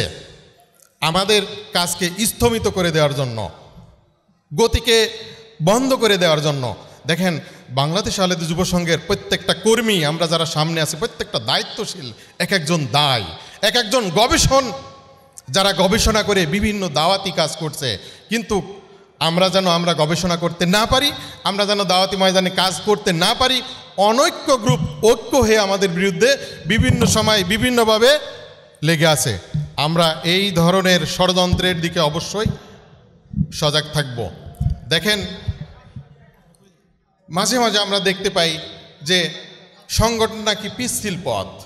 এই পিচ্ছিল পথে কেউ পা দিবেন না। এবং সংগঠন যারা করে, তারা সংগঠন করার জন্য করে, প্রকৃত দায়ীল আল্লাহর জন্য করে না। কিন্তু সেই ধরনের বক্তারাই বিভিন্ন ওয়াজের মঞ্চে যে বক্তব্য দেয়, ওয়াজটাই নাকি প্রকৃত দায়ীল আল্লাহর কাজ। তাহলে ওয়াজের জন্য যে কর্মীরা কাজ করে তারা কি ওয়াজের জন্য কাজ করে না প্রকৃত দাইল আল্লাহর জন্যই কাজ করে? ওয়াজ শেষ হয়ে গেলেই দেখা যায় যে তাদের আর খুঁজে পায় না, পাওয়া যায় না। কিন্তু বাংলাদেশ আলে যুব সংঘের প্রত্যেকটা কর্মী দিনের শুরু থেকে ঘুমানোর আগ পর্যন্ত বিভিন্ন সময় দিনের জন্য তারা কিন্তু সময় ব্যয় করে। উদ্দেশ্য হলো আমরা যেন কাজ করতে না পারি, সেই জন্য আমাদেরকে বিচ্ছিন্ন করে রাখা। কারণ বিস্তীর্ণ করে রাখলে কিন্তু আমাদের আর কাজের সুযোগ নাই। আমি মাঝে মাঝেই বলি একটাই কাজের সুযোগ আছে বিচ্ছিন্ন করে থাকলে, সেটা যেহেতু এখন অ্যান্ড্রয়েড ফোন ফোনটা একটু ডলাডলির মাধ্যমে একটুকুনি একটা শেয়ার করে দেওয়া। এই একটা মাত্র মূলত কাজ থাকে। কিন্তু বাংলাদেশ আলে যুব সংঘের প্রত্যেকটা বাড়িতে লাইব্রেরি আছে, প্রত্যেকটা শাখায় লাইব্রেরি আছে, প্রত্যেকটা মসজিদে আছে এবং তারা সর্বদা কিন্তু দাওয়াতি কাজ করার জন্য ময়দানে সর্বদা ব্যস্ত। আল্লাহ রাবুল আলমিন এই সংঘবদ্ধভাবে বাংলাদেশ আল্লাহ যুব সংঘের থেকে আমাদেরকে কাজ করার তৌফিক দান করুক। আল্লাহ আমিন। আসসালামু আলাইকুম রহমতুল্লাহ। সম্মানিত সুধী মণ্ডলী, এ পর্যায়ে অতিথিবৃন্দের বক্তব্য, অতিথিবৃন্দের মধ্য থেকে বক্তব্য নিয়ে আসার জন্যে বিশেষভাবে অনুরোধ জানাচ্ছি বাংলাদেশ আহলাদের যুব সংঘের, বাংলাদেশ আহলাদের যুব সংঘের সাবেক কেন্দ্রীয় সভাপতি অধ্যাপক শেখ রফিকুল ইসলাম, অধ্যাপক শেখ রফিকুল ইসলাম, লিল্লাহে তাকবীর। সকল বিধান বাতিল করো। সকল বিধান বাতিল করো। মুক্তির একই পথ। লিল্লাহে তাকবীর। আসসালামু আলাইকুম রহমতুল্লাহ। ইন আলহামদুলিল্লাহ রব্বিল আলমিন। والصلاة والسلام على أشرف الأنبياء والمرسلين وعلى آله وصحبه أجمعين أما بعد قال الله تبارك وتعالى في القرآن المجيد أعوذ بالله من الشيطان الرجيم بسم الله الرحمن الرحيم من كان يريد حرث الآخرة نجد له في অমান কানা ইউরিদু হারসাদ দুনিয়া নুতি হে মিনহা অমালাহু ফিল আখেরাতে মিন নসিব।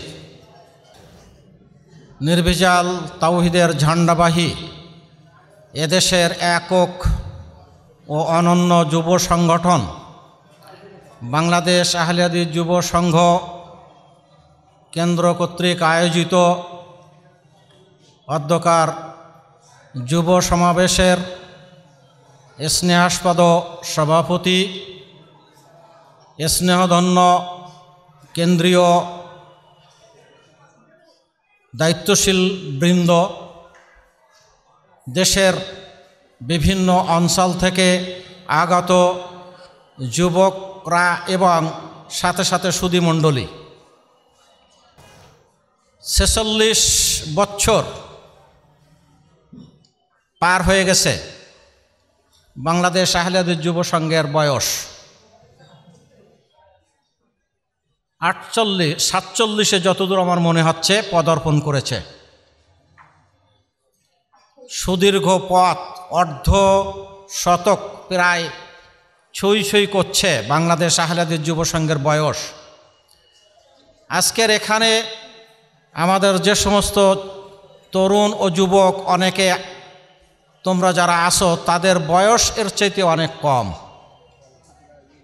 কেন্দ্রীয় দায়িত্বশীল এবং অন্যান্যদের কাছ থেকে তোমরা, বিশেষ করে যুবক যারা, যুব সংঘের দ্বারা দায়িত্বশীল, আমি তোমাদেরকে তুমি বলছি এই জন্য যে আমি তোমাদের এখন বলা যেতে পারে এখানে একটা মুরব্বীর কাতারে চলে গেছি।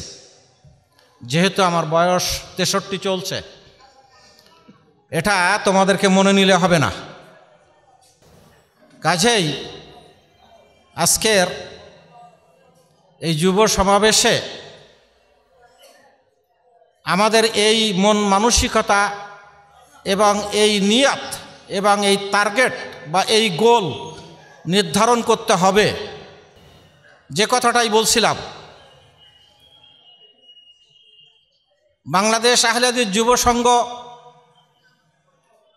এই তৈরির প্রেক্ষাপট আপনারা নিশ্চয়ই সকলেই অবহিত আছেন।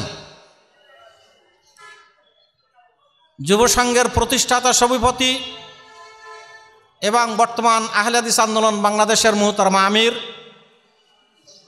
কেন সেদিন এই যুব সংঘ প্রতিষ্ঠার স্বপ্ন দেখেছিলেন আপনারা বিভিন্ন সময় শুনেছেন।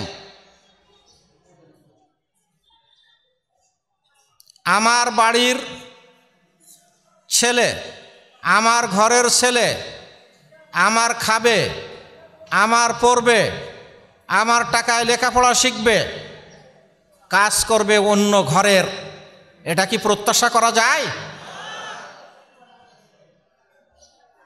আমাদের দিয়েই তারা তাদের সংগঠনকে যখন সম্প্রসারিত করছে, সেটাকে মজবুত করছে আর আমার সংগঠন তখন নিভু নিভু প্রায়, যেখানে কোনো দায়িত্বশীল আর তৈরি হচ্ছে না। দায়িত্ব নেওয়ার মতো যোগ্যতা সম্পন্ন দায়িত্বশীল পাওয়া যাচ্ছে না। যোগ্যতার নামে অযোগ্য দায়িত্বশীল দিয়ে যখন আহলাদিস আন্দোলনের কাজ করার মন মানসিকতা তৈরি হয়েছে, যাদের আকিদা এবং বিশ্বাস প্রকৃতপক্ষে তৌহিদপন্থী নয়, বরং অধিকাংশই তারা সেকুলারপন্থী যখন হয়ে গেছে, তখন তিনি চিন্তা করেছিলেন যে আমাদের এই তরুণ ও যুবকদের আমাদের ঘরে ফিরিয়ে নিয়ে আসতে হবে। আগামী দিনেই তারা দেশের নেতৃত্ব দেবে, নির্ভেজাল তাওহিদের প্রচার এবং প্রতিষ্ঠার জন্য জীবনকে আল্লাহর সন্তুষ্টির জন্য উৎসর্গ করবে, এই নিয়তেই যুবসংঘ প্রতিষ্ঠা হয়েছিল। সুদীর্ঘ ছেচল্লিশ বছর পার হয়ে সাতচল্লিশে পড়েছে। আজকে গোটা দেশের সর্বত্র বাংলাদেশ আহলেদি যুবসংঘের শাখা, এলাকা, জেলা, উপজেলা তৈরি হয় নাই। যদি সেদিন এই স্বপ্ন বাস্তবায়িত না হতো, আমরা কি এখানে সংগঠিত হতে পারতাম? আমরা এখানে সমবেত হতে পারতাম? আমরা একটা ঐক্যবদ্ধ প্ল্যাটফর্মে আসতে পারতাম? না। লক্ষ্য ছিল কি? আখেরাত। দুনিয়ার কোনো কিছুই আমরা এখানে পাচ্ছি না। টার্গেট আমাদের কি? লক্ষ্য আমাদের কি? গোল আমাদের আখেরাত, আল্লাহর সন্তুষ্টি। কাজেই আজকে যারা আমরা এখানে মুরব্বী আছি, আমাদের প্রত্যেকের এই চিন্তা, চেতনা এবং এই বিশ্বাস লালন করা দরকার যে আমার ঘরের সন্তান যেন অন্যত্র না চলে যায়, অন্যের ফসল যেন না হয়। সত্যি সত্যিই যদি আমার বাড়ির ছেলে আমার বাড়িতেই থাকে, তাহলে বাড়ির মর্যাদা বৃদ্ধি পাবে, রৌনক বৃদ্ধি পাবে। আর আজকের যে যুবকরা বসে আছে, যদি এই সংগঠন না হতো, এখানে তারা থাকতো না, আমরাও থাকতাম না। এই জন্য মুরব্বীদের দায়িত্ব যে আমার ছেলে অন্য ঘরের ঘরনা যেন না হয়, কোনো অবস্থাতেই। আমি যুব সংঘের কেন্দ্রীয় দায়িত্বশীলদের দৃষ্টি আকর্ষণ করে বলব, একসময় এদেশের জেলা পর্যায়ের বিভিন্ন শিক্ষা প্রতিষ্ঠানে আমাদের যুব সংঘের শাখা ছিল। এখন সেটা যেন মনে হচ্ছে একটু কমে আসছে। সেদিকে লক্ষ্য দেওয়া দরকার।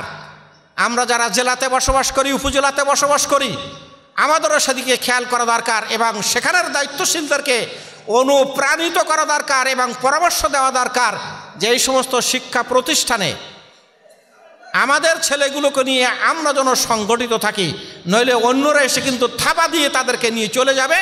যেমন ওই মুরগি হাঁসের বাচ্চাগুলো ছো মেরে নিয়ে চলে যায় না ওই রকম একটা অবস্থা কিন্তু আমাদের হয়ে যাবে। কাজেই হুঁশিয়ার হওয়া দরকার। সময় থাকতে যদি আমরা না ভাবি, তাহলে সময় ফুরিয়ে গেলে আমাদের সেই সুযোগটা থাকবে না। এজন্য আমাদের সন্তানদেরকে আমাদের ঘরে রাখার যত রকমের দায়িত্ব, তারা যে শুধু কেন্দ্রের থেকে নির্দেশনা দেবে, না দিলে কিছু করব না, এইটা কিন্তু ঠিক না।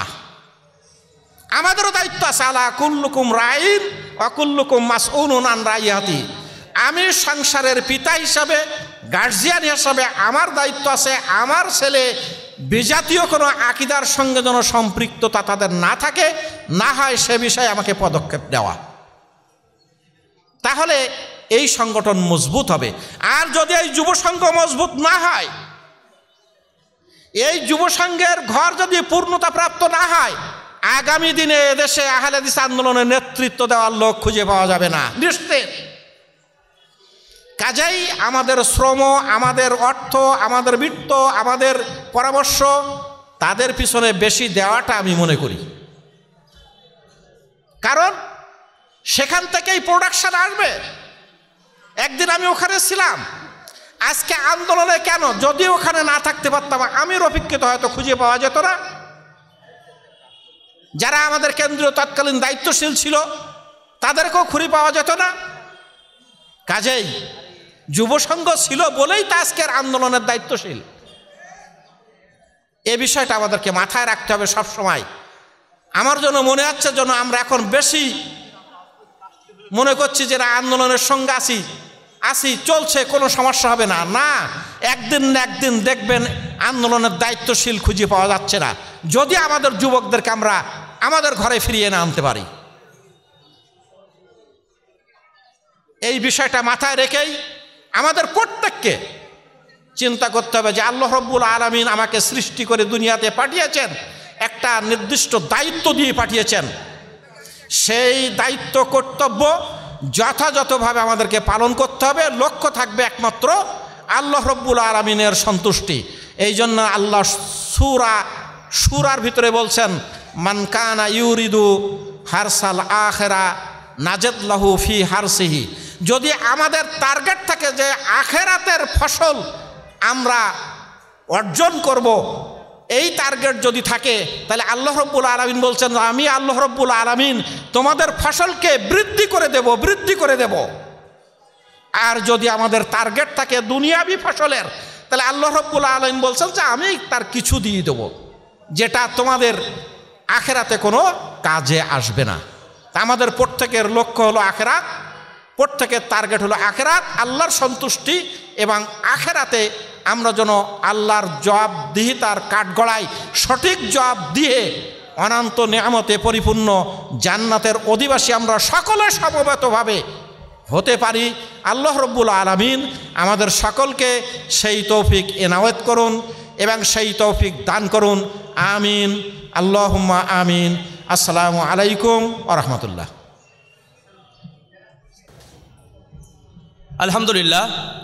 আমরা যেখানে অবস্থান করছি, আহলে হাদিস আন্দোলন বাংলাদেশের কেন্দ্রীয় তাবলিগ ইস্তেমা চৌত্রিশতম তাবলিগ ইস্তেমার আজকের এই সকালের অধিবেশন সকাল নয়টা থেকে যেটা চলমান, বাংলাদেশ আহলে হাদিস যুব সংঘের যুব সমাবেশ, আলহামদুলিল্লাহ, আপনারা সমবেত হয়েছেন, উপস্থিত হয়েছেন, বিভিন্ন জেলা থেকে দায়িত্বশীল এবং নেতৃবৃন্দ এসেছেন আমরা সকলের জন্য দোয়া করছি আল্লাহ রব্বুল্লা আলমিন সকলের মেহনতকে, এই সময় এবং শ্রমকে আল্লাহ রব্বুল্লা আলমিন কবুল করুন আল্লাহ আমিন।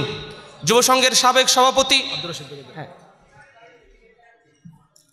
যুব সংঘের সাবেক সভাপতি, অধ্যাপক শেখ রফিকুল ইসলাম সাহেবের কাছ থেকে আমরা যে নসিহা শুনলাম, আমরা যদি আমাদের দায়িত্ব নিয়ে সামনে এগিয়ে না যাই, তাহলে কিন্তু আমাদের স্থলে আরও কেউ এসে আল্লাহ রাব্বুল আলমিন তাদের দিয়ে এটা চালিয়ে নেবেন।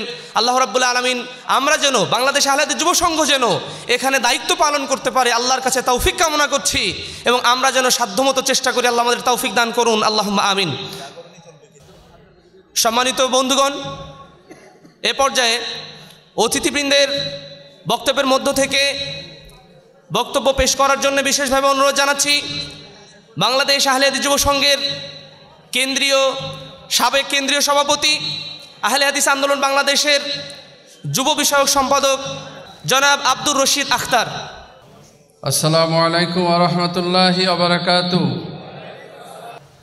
প্রধান অতিথি প্রফেসর ডক্টর মোহাম্মদ আসাদুল্লাল গালিব, আমির আহলাদিস আন্দোলন বাংলাদেশ,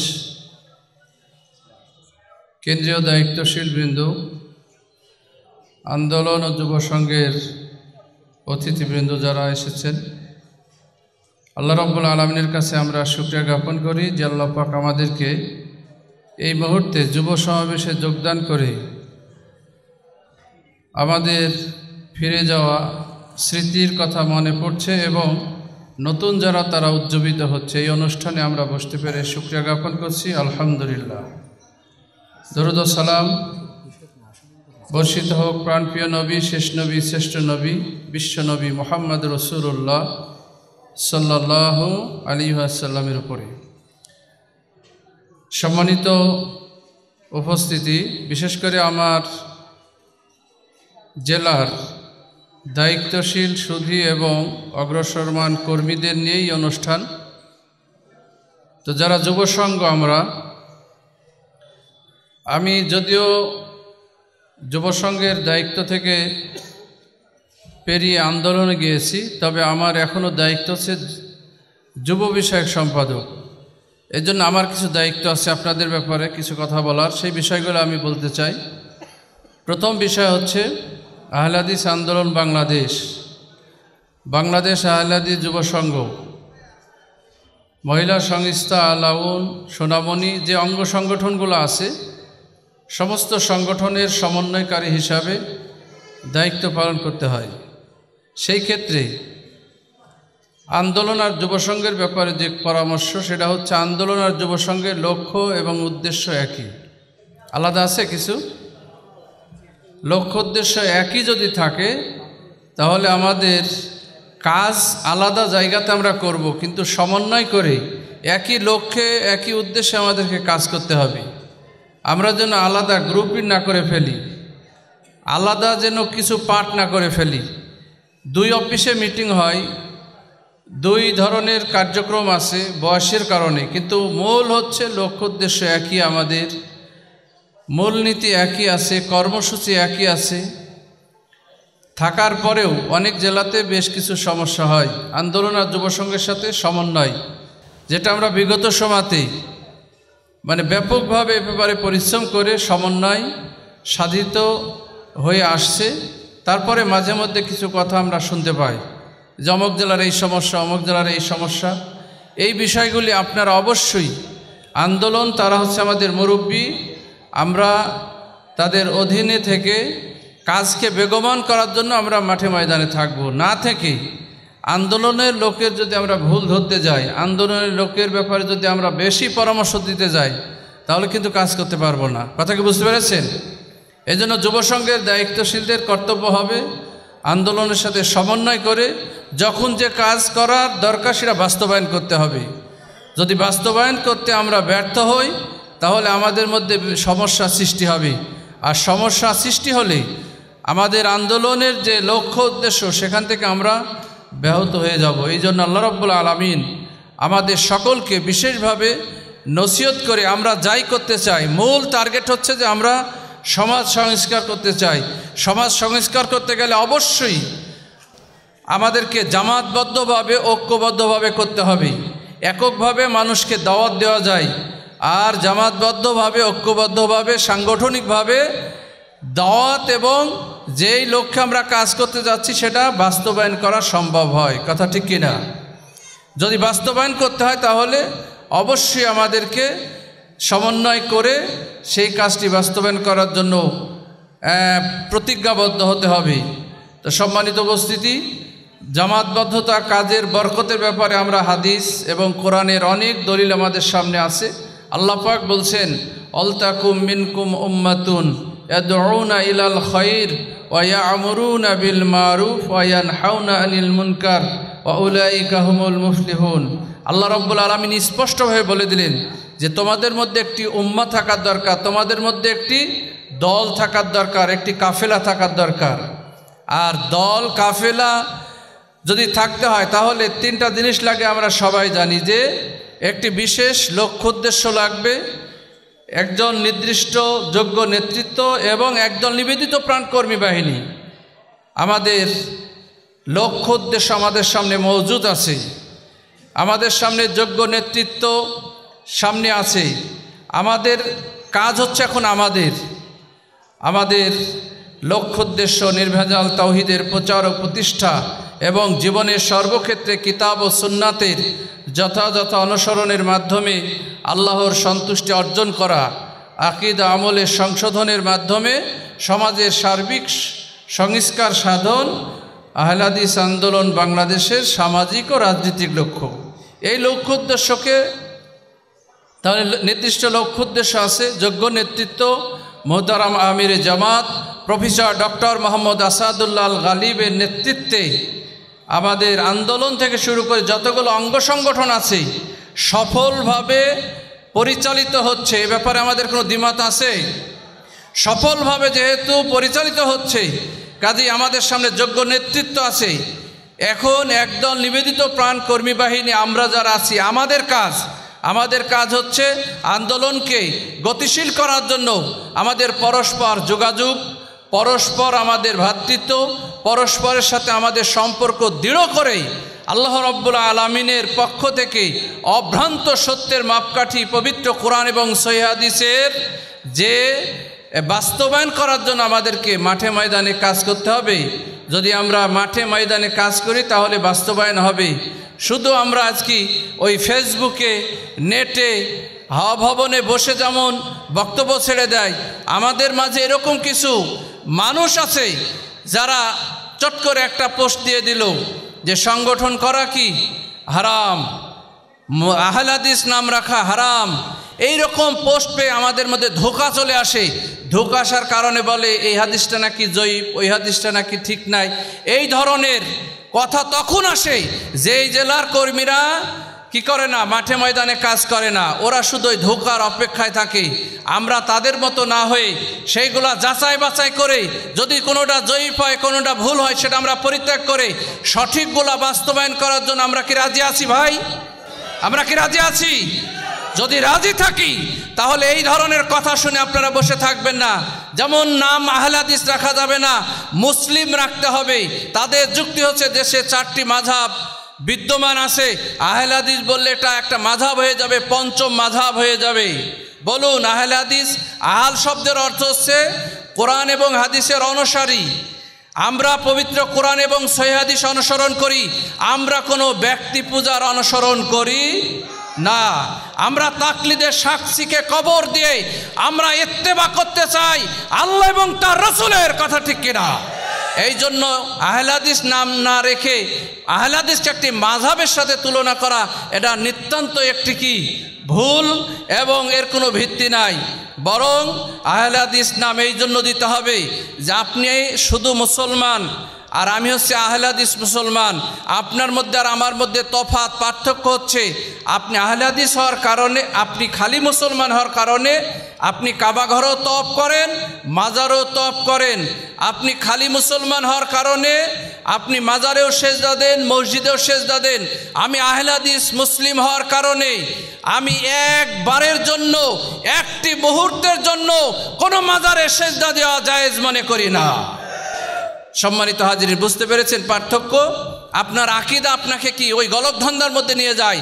আমার আকিদা বলে যে কোনো দিন আল্লাহ ব্যতীত কাউকে সেজদা করা যাবে না। আল্লাহর ঘর ব্যতীত আর কোনো মাজার কি করা যাবে না, তপ করা যাবে না।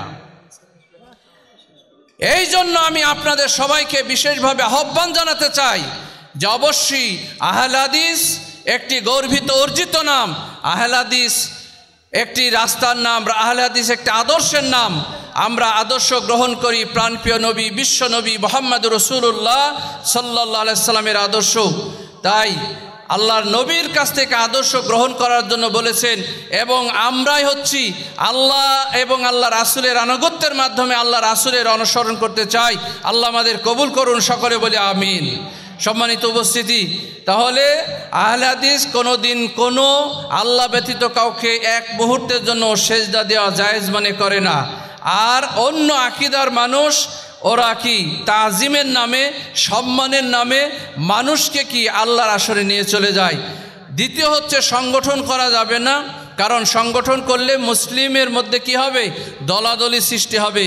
বলুন, আল্লাহ রব্বুল আলমিনের নবী একটা সুন্দর সূত্র বলে দিয়েছেন, বান ইসরায়েলের মধ্যে বাহাত্তর ফিরকা ছিল, আমার উম্মতের মধ্যে তিয়াত্তর ফিরকা হবে। এটা কার কথা? জবাব দেন, কার কথা? আল্লাহ রাসুলের কথা। তাহলে দল যে অনেকগুলা হবে, অনেক দলে, উপদলে মানুষ ভাগ হবে, কিন্তু এর মধ্যে একটি নাজি ফিরকা তারা কারা? আল্লাহ নবী বলে দিলেন মানা আলাইহি ও আসাহাবি। আমি এবং আমার সাহাবাই কেরাম যে তরিকার উপরে আছি।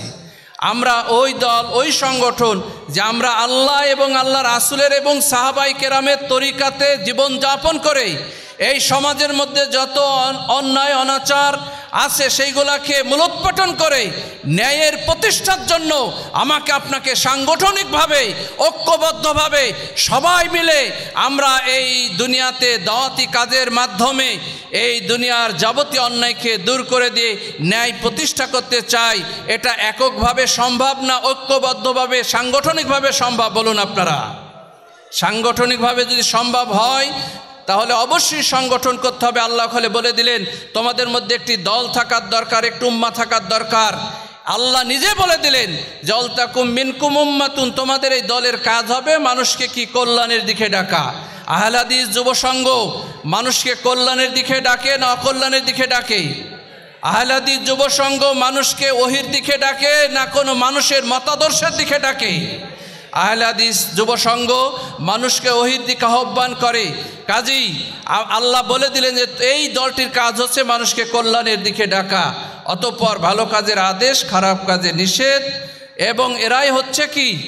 অউলাই কাহমুল মুফলিহুন, এরাই হচ্ছে সফল কাম। আল্লাহ আমাদেরকে সফল কাম, কাফেলা হিসাবে, দল হিসাবে আল্লাহ কবুল করুন সকলে বলে আমিন। তাহলে আল্লাহ রসুল বললেন যে, আল জামাতু রহমাতু আল ফুরকাত আদাবু যারা জামাতবদ্ধ জীবনযাপন করে, তাদের উপরে আল্লাহ রহমত থাকে।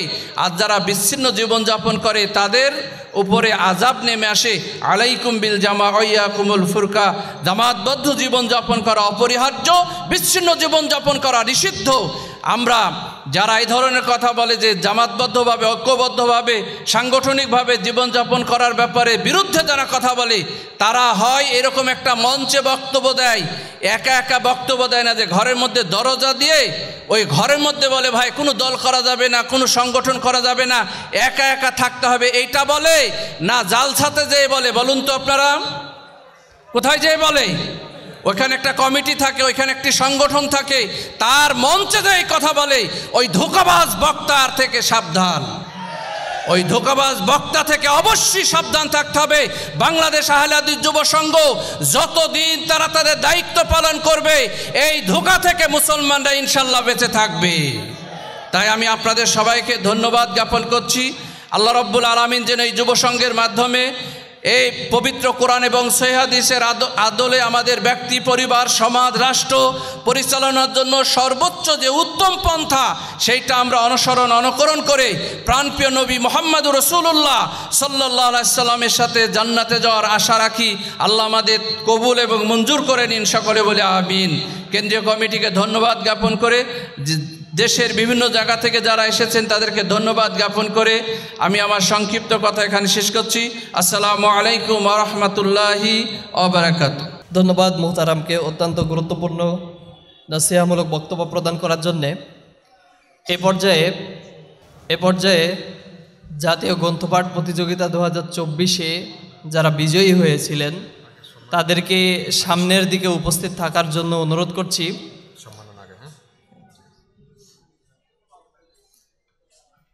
বিজয়ী প্রথম, দ্বিতীয় এবং তৃতীয়কে এই মঞ্চে পুরস্কৃত করা হবে এবং বাকি চতুর্থ থেকে তেরোতম পর্যন্ত দশটি বিশেষ পুরস্কার পরবর্তীতে বিজয়ীদের সাথে যোগাযোগপূর্বক আমরা কুরিয়ার সার্ভিসের মাধ্যমে পাঠিয়ে দিব।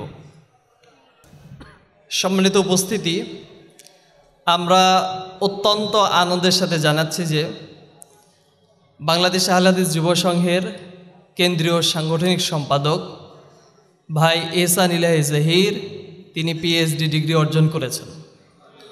আলহামদুলিল্লাহ, আমরা এ মঞ্চে তাকে বিশেষ সম্মাননা প্রদান করব।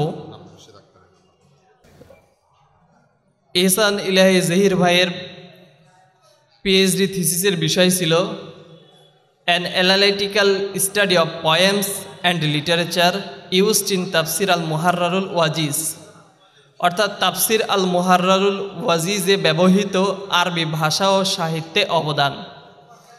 তিনি উল্লেখিত টপিকের ওপরে পিএইচডি ডিগ্রি অর্জন করেছেন। এখন আমরা তাকে সম্মাননা প্রদান করছি। সম্মাননা প্রদানের জন্য বিশেষভাবে অনুরোধ জানাচ্ছি বাংলাদেশ আহলেদিস যুব সংঘের সাবেক কেন্দ্রীয় সভাপতি ভাই আব্দুর রশিদ আখতার। বর্তমান আহলাদিস আন্দোলন বাংলাদেশের কেন্দ্রীয় যুব বিষয়ক সম্পাদক মোহতারাম আমেলা সদস্য। এছাড়াও আমি অনুরোধ জানাচ্ছি, বাংলাদেশ আহলাদিস আন্দোলন বাংলাদেশের কেন্দ্রীয় সুরা সদস্য এবং আহলাদিস আন্দোলন বাংলাদেশের বাংলাদেশ আহলাদিস যুব সংঘের সাবেক কেন্দ্রীয় ভারপ্রাপ্ত সভাপতি রফিকুল ইসলাম স্যার।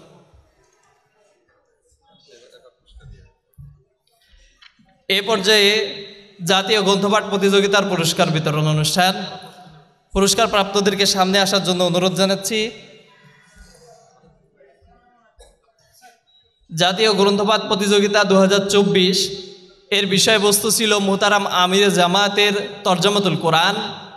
তর্জমাতুল কোরআনের প্রথম থেকে পনেরোতম পারা পর্যন্ত আমরা অনুবাদের উপরে একটা এমসিকিউ পদ্ধতির মাধ্যমে পরীক্ষা গ্রহণ করেছিলাম অনলাইনে। গত ষোলোই ফেব্রুয়ারি পরীক্ষা অনুষ্ঠিত হয়। উনিশে ফেব্রুয়ারি আমরা অনলাইনের মাধ্যমে ফলাফল ঘোষণা করি। তো সেখানে প্রথম হয়েছিল মোহাম্মদ আবু তালহা নওগাঁ। তার আরেকটি পরিচয় হচ্ছে আল মার্কাজুল ইসলামিয়া সালাফির ছাত্র সে। এছাড়াও আতিকুর রহমান জাকারিয়া দ্বিতীয় স্থান অধিকার করে। সেও আল মার্কাজুল ইসলামিয়া সালাফির ছাত্র এবং ইমতিয়াজ আহমেদ আহ, তার বাসাও রাজশাহী। এই তিনজন আমাদের প্রথম, দ্বিতীয়, তৃতীয়, বাকি চতুর্থ থেকে তেরোতম পর্যন্ত আমরা সময় স্বল্পতার কারণে ঘোষণা করছি না। এখন আমি পুরস্কার গ্রহণের জন্য বিশেষভাবে গ্রন্থপাঠ প্রতিযোগিতার পুরস্কার ছিল। সনদ এবং প্রথম পুরস্কার সনদ সনদ এবং ক্রেস্ট সহ বারো হাজার টাকা। দ্বিতীয় পুরস্কার ছিল সনদ, ক্রেস্ট সহ নয় হাজার টাকা। তৃতীয় পুরস্কার সনদ ক্রেস্ট সহ সাত হাজার টাকা। এছাড়াও দশটি বিশেষ পুরস্কার রয়েছে। তো শুরুতেই পুরস্কার গ্রহণ করবে মোহাম্মদ আবু তালহা আল মার্কাজুল ইসলামিয়া সালাফির ছাত্র আবু তালহা বাসা নওগাঁ। আবু তাল্লাহা পুরস্কার গ্রহণ করবেন বাংলাদেশ আহলেদ যুব সংঘের সাবেক কেন্দ্রীয় সভাপতি ভাই আব্দুর রশিদ আখতারের কাছ থেকে। দ্বিতীয় পুরস্কার গ্রহণের জন্য মঞ্চে আসবে আতিকুর রহমান জাকারিয়া নওগাঁ, আলমার কাজুল ইসলামিয়া সালাফির ছাত্র।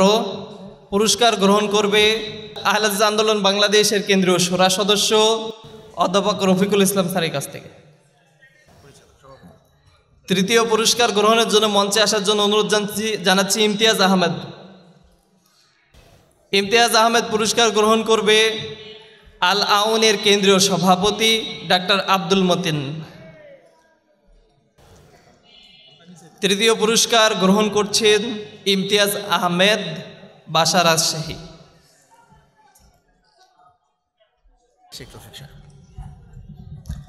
আলহামদুলিল্লাহ, আমরা আজকের এই যুব সমাবেশের একদম শেষ পর্যায়ে চলে এসেছি। আজকের এই যুব সমাবেশের প্রধান অতিথি হিসাবে উপস্থিত থাকার কথা ছিল। মোহতারাম আমির জামাত, প্রফেসর ডক্টর আসাদুল্লাল গালিব সাহেবের। বিশেষ কারণবশত উনি আজকের এই যুব সমাবেশে উপস্থিত হতে পারছেন না। আমরা আন্তরিকভাবে দুঃখ প্রকাশ করছি। কিছুক্ষণের মধ্যে যেহেতু উনি জুমার প্রস্তুতি নেবেন এবং জুমার তবলিগ ইসলামের মূল প্যান্ডেলে জুমার খোদ্বায় যাবেন, সাথে বিশেষ মেহমান আসার কারণে উনি দুঃখ প্রকাশ করেছেন। আজকের এই যুব সমাবেশের আমরা শেষ পর্যায়ে এসে সমাপনী বক্তব্য সমাপনী বক্তব্য পেশ করার জন্য আহ্বান জানাচ্ছি। বাংলাদেশ আহলাদি যুব সংঘের সাবেক কেন্দ্রীয় সভাপতি জনাব শেখ রফিকুল ইসলাম। আসসালামু আলাইকুম রহমতুল্লাহ। আলহামদুলিল্লাহিল্লাজি কাফা ওসালামুন আলা ইবাদিহিল্লাজি নাস্তাফা। আমাদের মোহতরাম আমির সাহেবের এখানে আসার কথা ছিল। আজকের মেহমান আসার কারণে এবং ওনার জমার খোদবার প্রস্তুতির কারণে উনি আসতে পারলেন না। আমরা উপস্থাপকের কাছ থেকে সেটা জেনে ফেলেছি। আপনাদের মনটা আনসান করছে যে মেহমান কে? গণপ্রজাতন্ত্রী বাংলাদেশ সরকারের মাননীয় প্রধানমন্ত্রীর বেসরকারি খাত ও বিনিয়োগ বিষয়ক উপদেষ্টা জনাব এফ সালমান রহমান সাহেব আমাদের এই অনুষ্ঠানে এসেছেন। বিধায় তিনি আসতে পারলেন না। এখন আমি তো দুর্বল মানুষ, আমার উপরেই শেষ পর্যন্ত সর্বশেষ কথা বলার কথা বলল। আপনারা একটা তথ্য আপনাদের দিয়ে দেয় বাংলাদেশ আহলে হাদিস যুব সংঘ আর আহলে হাদিস আন্দোলন বাংলাদেশ উনিশশো আটাত্তর সালের পাঁচই ফেব্রুয়ারি আহলে হাদিস যুব সংঘ প্রতিষ্ঠাকাল। আর আন্দোলনের প্রতিষ্ঠাকাল কত? উনিশশো চুরানব্বইয়ের কত? কত সেপ্টেম্বর? তেইশে সেপ্টেম্বর। তাহলে ছেলের জন্ম হয়ে গেছে আগে, পিতার জন্ম হয়েছে পরে। তাই না? বিষয়টা এরকম এসে দাঁড়াইছে না। যাই হোক, অনেক চড়াই উতরাই পার হয়ে এ পর্যন্ত এসেছে। আমাদের সর্বপ্রথম জাতীয় সম্মেলন যেটা অনুষ্ঠিত হয়েছে উনিশশো আশি সালে ঢাকাতে, সেটা বাংলাদেশ আহলিয়াদি যুব সংঘের ব্যানারেই হয়েছিল।